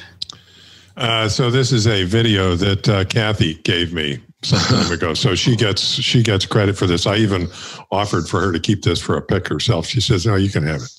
Uh, and uh, I did want to save it for sometime Dickson's around because it's about mosquitoes. Oh yeah, And it's a topic we've talked about before, which is genetically engineering mosquitoes uh, to impact a transmission of malaria, either by uh, um, uh, putting in genes that make them so that they can't reproduce, or that the females die early, or somehow uh, affecting the population. There's some resistance mutations uh, as well. Uh, and in particular, I like this video. Uh, two reasons. First of all, it describes, and I'm not going to do it here, it describes a gene drive very clearly. Yeah. Okay. Uh, which is a really interesting concept. Uh, and so I recommend it for that reason. Uh, and the other is this theme I was talking about earlier. They have this great journalist uh, doing part of this named Dylan Matthews. And I want to quote a little bit of his. He was responding to uh, GMO uh, objections to the modified mosquitoes as being genetically modified organisms, and we have to leave everything all nice and fluffy and natural, right? And we can't tinker with uh, Mother Nature, right? And Dylan says, no one in this is as big of a son of a bitch as nature. It is completely indifferent to suffering. The earth is a horror show that we're trying to manage as best we can. yes. which I think is a wonderful perspective. Uh, people don't, you know, my one of my favorite clips. Oh, I'll save that for another pick to show what a horror show, uh, show nature is. But one of the reasons I want you to be around Dickson is that you know my immediate reaction is if these things work, uh, one of the you know outcomes could be that you eliminate a species of mosquito. Yes. So what what then? This is this is a strategy, and in fact, it, it's derived from a much older strategy called the sterile insect technique.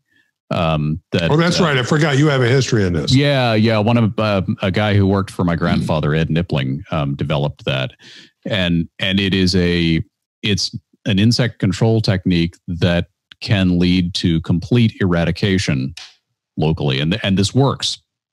It's why American cattle are not paras- parasitized by something called screwworm fly, because we wiped it out. Ed Knipling's idea worked. Um, and so this gene drive approach is a much more efficient way of accomplishing the same thing and could be used to completely eradicate a species of mosquito. So, Is that going to kill us all, Dickson? and Dickson, you're on mute. Dickson, you're on mute. You're on mute, Dickson. We can't hear a word you're saying. That's because I don't know the answer. Thank you. oh, no, that's not true. Uh, I don't know the answer, but I'll tell you what happens in most cases when you extinct one species, another related species comes in to take its place. yeah. And if it's a mosquito species that doesn't transmit malaria, then we'll be better off for it. Yes. Yeah. Because those mosquitoes are being eaten by things. Yes. They're food for And the, the critical thing with the gene drive approach or the sterile insect technique is that it is species specific. Right. right. And there exactly are right. dozens, if not That's hundreds, right. of That's species of mosquitoes. So if we if we eliminate Anopheles gambiae, um, then good some other luck. mosquito is going to move in. You'll still have mosquitoes, but you won't You have will. malaria because they won't be able to support. Yeah, one way to avoid that issue is to infect them with Wolbachia. And then they won't go away, but then they still won't be able to transmit it. it. Right. So that's that's a compromise with nature that might work. in the uh, after the war after the war uh, Argentina decided to convert the pampas to uh, land for growing maize so it was full of uh, plants and they destroyed them all with herbicide and they planted their maize and then a new shade tolerant grass grew in the shade of the maize and that attracted a new species of mouse that hadn't been there before which carried a virus that then caused a hemorrhagic fever in people that no one had seen before. Right. it's all a series of events by the way the chinese philosopher uh, lao tse said nature is not human hearted No. That's and right. Randy Randy Newman said the same thing. but you know i would say humans are often not human hearted Not human hearted. Yes, they don't care That's about us, true. but we don't often. We're not often kind. All right, my pick is uh, one of my podcasts, which I just released yesterday with Nels Elde, TWiEVO number sixty. So that's our fifth anniversary podcast. Twelve. You know, it's funny. We do one a month, so that if it were Twiv, we'd be at three hundred after five Right. years. But this one is special because we had twelve guests and. Uh, Wow. you know, they're not all on at once, fortunately, but Nels invited people to record a short video about where they think evolution field is going in the next five years. And it's a lot of Oh, fun. that's remarkable. That's what And is. Cool. One person uh, didn't send in a video, but sang in a send in a song, sang, sang a song. So you should check it out. It's really fun. Uh, TWiEVO number 60. All right, that is Twiv 667, where you can find at uh, microbe.tv slash Twiv all the show notes and links. By the way, all these picks, I do maintain a page where I keep all the picks so you could search for stuff if you want to find a book to read or something. Although I'm probably behind on my keeping that page up. Like most other things, I used to keep a page of all our guests, and I haven't updated that in many months. Anyway, microbe.tv slash twiv. Uh, questions and comments, twiv at microbe.tv. If you like what we do, consider supporting us over at microbe.tv slash contribute. There are a number of ways that you can do that. For example, if you like Alan's pick, that's a link to uh, Amazon. You could use our affiliate link and we get a little fraction of that purchase and it's at no cost to you. Okay, microbe.tv slash contribute. Dickson Despommier is at trichinella.org and therivingliver.com. The riving liver. I love that. you did actually say that.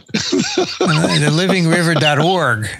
The, riv, the rivingliver.org. Thank you, right. Dickson. Yes. Which is a lovely site, right, Dickson? It's uh, your. Oh, well, thanks to you. Thanks to you. You helped me put that together very, very beautifully. Yes, thank you. I mean, that's the kind of friendship we've shared, and that's the kind of friendship we will continue to share. Uh, that's why I yell at you because you're my friend. You know, I only No, yell. don't, don't, don't go there. Uh, Dickson Despommier is at trichinella.org and the ri- Riving Liver. I did it again. Hey, You the did Riving, the Riving Liver. That's a good. that's a good uh, URL. R- Riving Liver. Anyway, thank you, Dickson. Uh, Rich You're welcome. Condit is an emeritus professor, University of Florida, Gainesville. He's currently in uh, Dripping something, Texas, Austin, Texas. what is that called? Dripping what? Dripping, Dripping Spring. Springs, but Dripping- we were talking about Driftwood. Driftwood. Dripping right. Springs is nearby. Yeah. Thank Dripping you. Springs is a real town. Oh, And okay. it's a beautiful place. Thank Yeah, you. it's a- Thank you, Rich. Sure enough, always a good time. Alan Dove is at alandove.com and on Twitter. Alan Dove makes it simple. Thank you, Alan. Yep. Thank you. It's always a pleasure. I'm Vincent Racaniello. You can find me at virology.blog. I'd like to thank the American Society for Virology and the American Society for Microbiology for their support of TWIV and Ronald Jenkins for the music. This episode of TWIV was recorded, edited, and posted by me, Vincent Racaniello. You've been listening to This Week in Virology. Thanks for joining us. We'll be back next week. Another TWIV is viral.